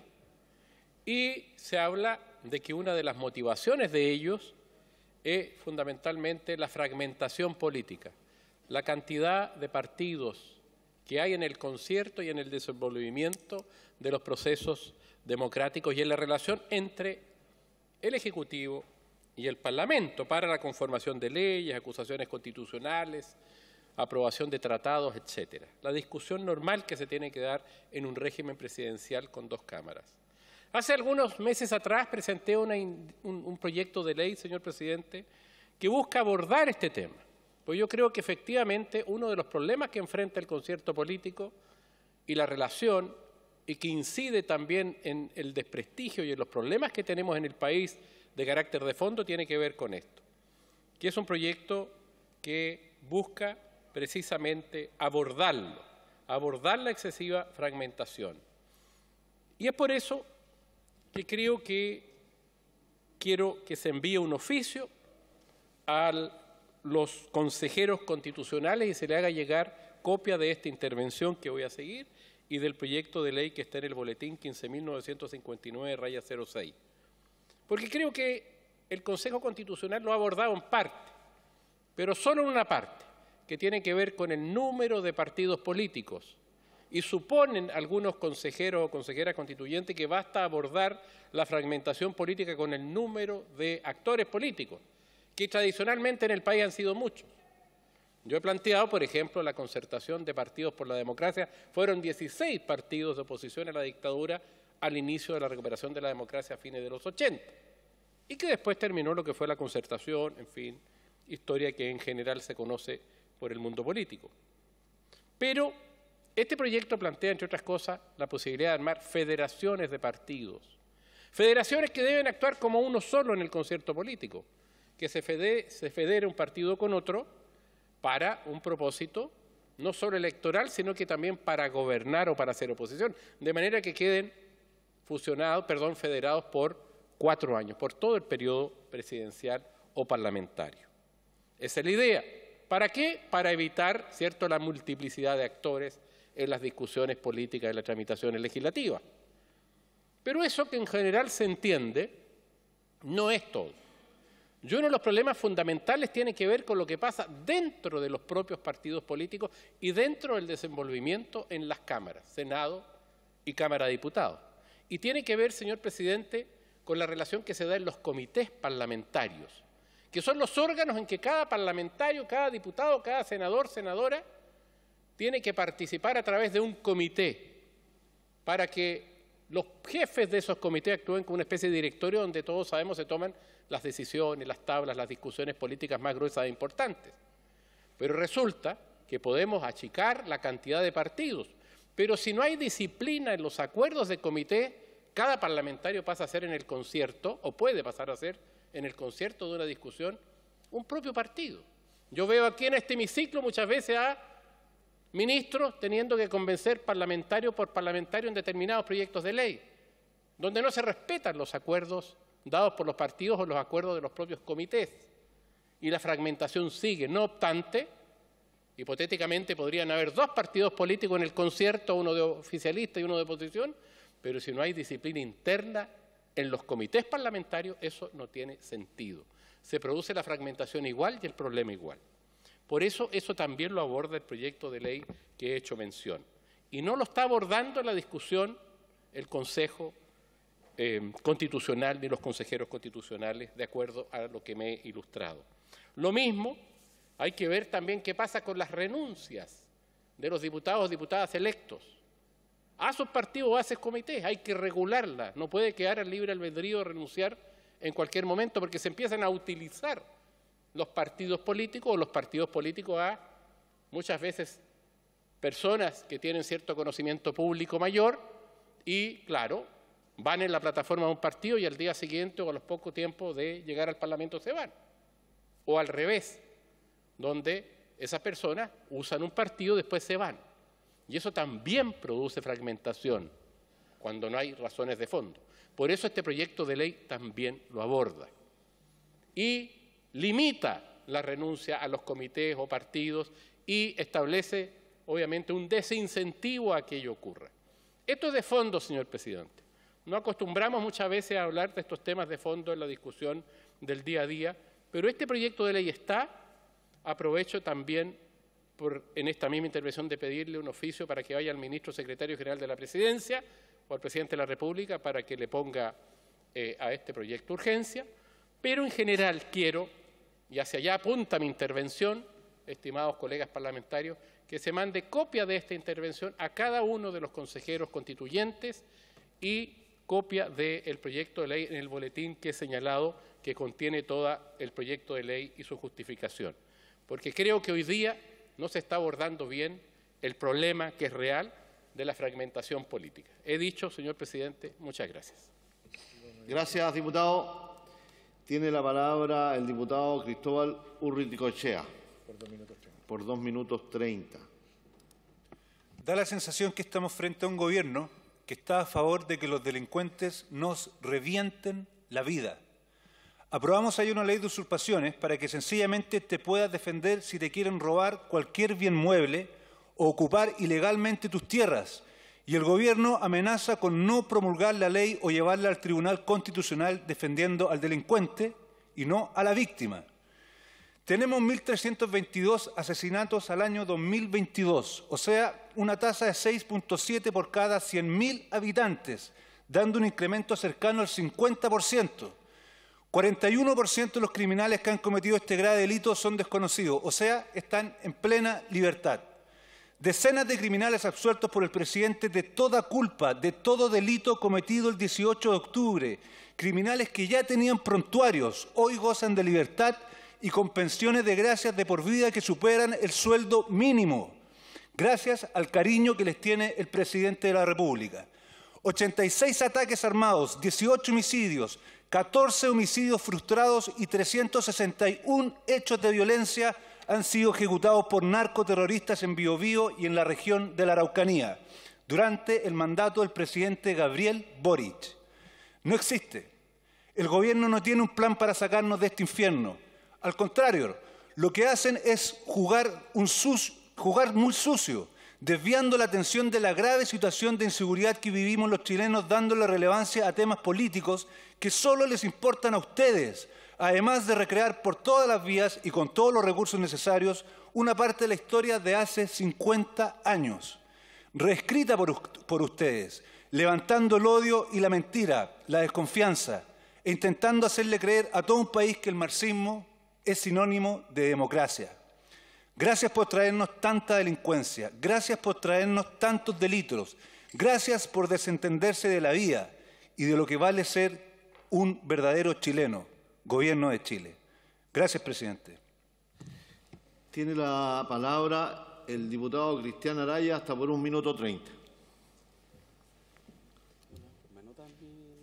Gracias, presidente. Señor presidente, el presidente Gabriel Boric abusa de sus facultades decretando duelo nacional, obligando que las banderas de comisarías y cuarteles militares permanezcan a media asta por la muerte de un terrorista, un asesino confeso de militares y carabineros, defensor de dictaduras sanguinarias marxistas y promotor de la subversión golpista del 18 de octubre.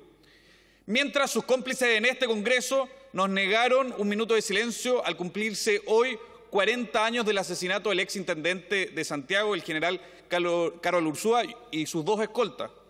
Una muestra más que detrás de estos acomplejados hipster veganos se esconde la misma izquierda miserable que tanto daño le ha hecho al mundo y tantos millones de personas ha llevado a la miseria y a la muerte. Señor presidente, hoy escuché con mucha atención los discursos de la izquierda en sus diferentes denominaciones, tanto veganas, vegetarianas, carnívoras, como también la caviar. Y se repite lo de siempre, lo que es bueno para el pueblo no es bueno para mí. Hablan en contra de la ISAPRE, perdón, hablan en contra de las ISAPRES, pero contratan sendos planes en las mismas. Hablan en contra de la salud privada, pero se entienden en las mejores clínicas del país. Hablan en contra de la AFP, pero veamos cómo juntan platita en los APB. Hablan en contra de la educación privada, pero educan a sus hijos en colegios particulares. El problema no es el mercado, no son los privados, son los mentirosos. Y de eso en la izquierda hay muchos, he dicho, presidente. Gracias, diputado. Tiene la palabra el diputado Héctor Barría. Por hasta por cuatro minutos, 25 segundos. Muchas gracias, señor presidente Ricardo Cifuentes. Primero que todo, desearle el mayor de los éxitos junto a esta nueva mesa directiva de nuestra Cámara de Diputadas y Diputados. Quiero manifestar una preocupación, pero algo de que tenemos que ser capaces de resolver y le pido al Gobierno que debe resolverlo. Se trata de la situación que está afectando a los clubes de adulto mayor. Una de, mis primeras reuniones al retomar este trabajo legislativo y distrital fue reunirme con uniones comunales de nuestra región de los lagos y me manifestaron algo doloroso que rompe con sus ilusiones. Ellos todos los años durante mucho tiempo presentan proyectos autogestionados ante el Senama y han visto con desazón que los recursos han sido de alguna manera recortados dándole explicaciones de todo tipo, que las emergencias, etcétera, etcétera. Pero no podemos jugar con la ilusión de nuestros adultos mayores. Estoy por una reforma previsional. Hay que mejorar las pensiones y sé que el gobierno también tiene la puesta la camiseta en esa línea, pero en ese mismo sentido no podemos quitar recursos a los adultos mayores. Aún queda tiempo.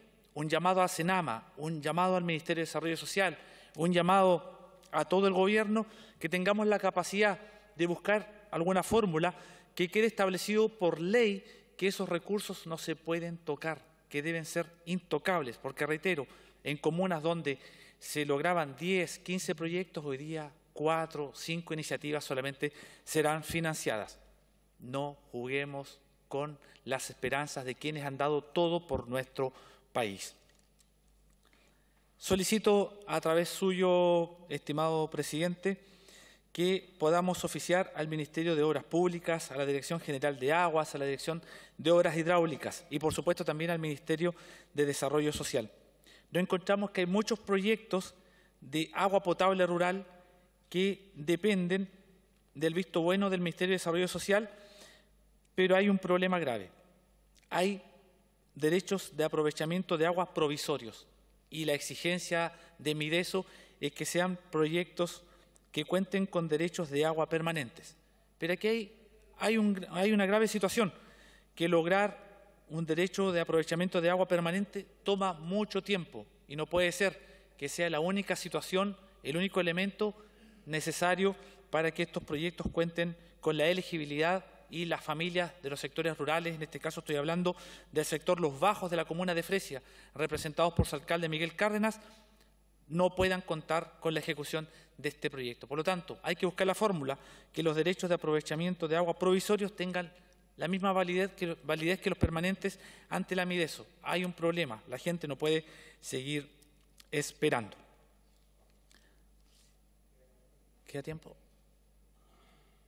¿Queda tiempo? Sí. Muy bien. Solicito al Gobierno que ponga suma urgencia y en la atención que este 31 de agosto se termina los, los derechos, o mejor dicho, los permisos de teletrabajo, que busque la fórmula de que aquellos proyectos que se vienen discutiendo en el Senado se puedan resolver cuanto antes para que la Cámara de Diputados también podamos apoyar a miles de mujeres trabajadoras que no tienen dónde dejar a sus niños. Me refiero a las leyes que tienen que ver con el teletrabajo. Hay diversas organizaciones que lo están solicitando, hay paros, sabemos que hay problemas en Integra, en diversos jardines infantiles, y además que cuando se habla del derecho a la vida, cuando se habla de la familia debe estar en primer lugar, que los niños son primero, tenemos que apoyar y sacar adelante este tipo de proyectos. Muchas gracias. Gracias, diputado. Tiene la palabra el diputado Alejandro Bernal. Por un minuto veinticinco.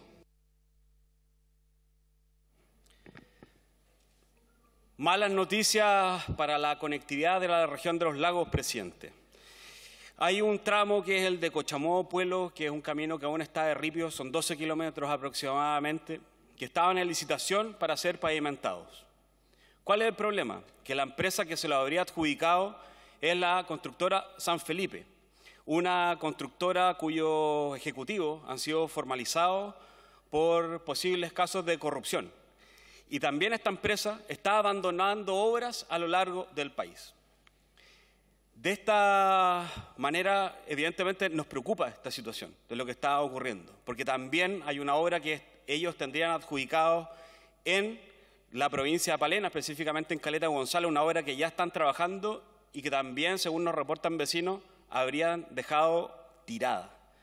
No es posible, presidente, que bajo las precarias condiciones de conectividad que tenemos en nuestra región ocurran estas situaciones. Por lo tanto, quiero pedir que se oficie al Ministerio de Obras Públicas para que nos digan qué obras está ejecutando esta empresa en la región de los lagos y cuáles son los avances de ello.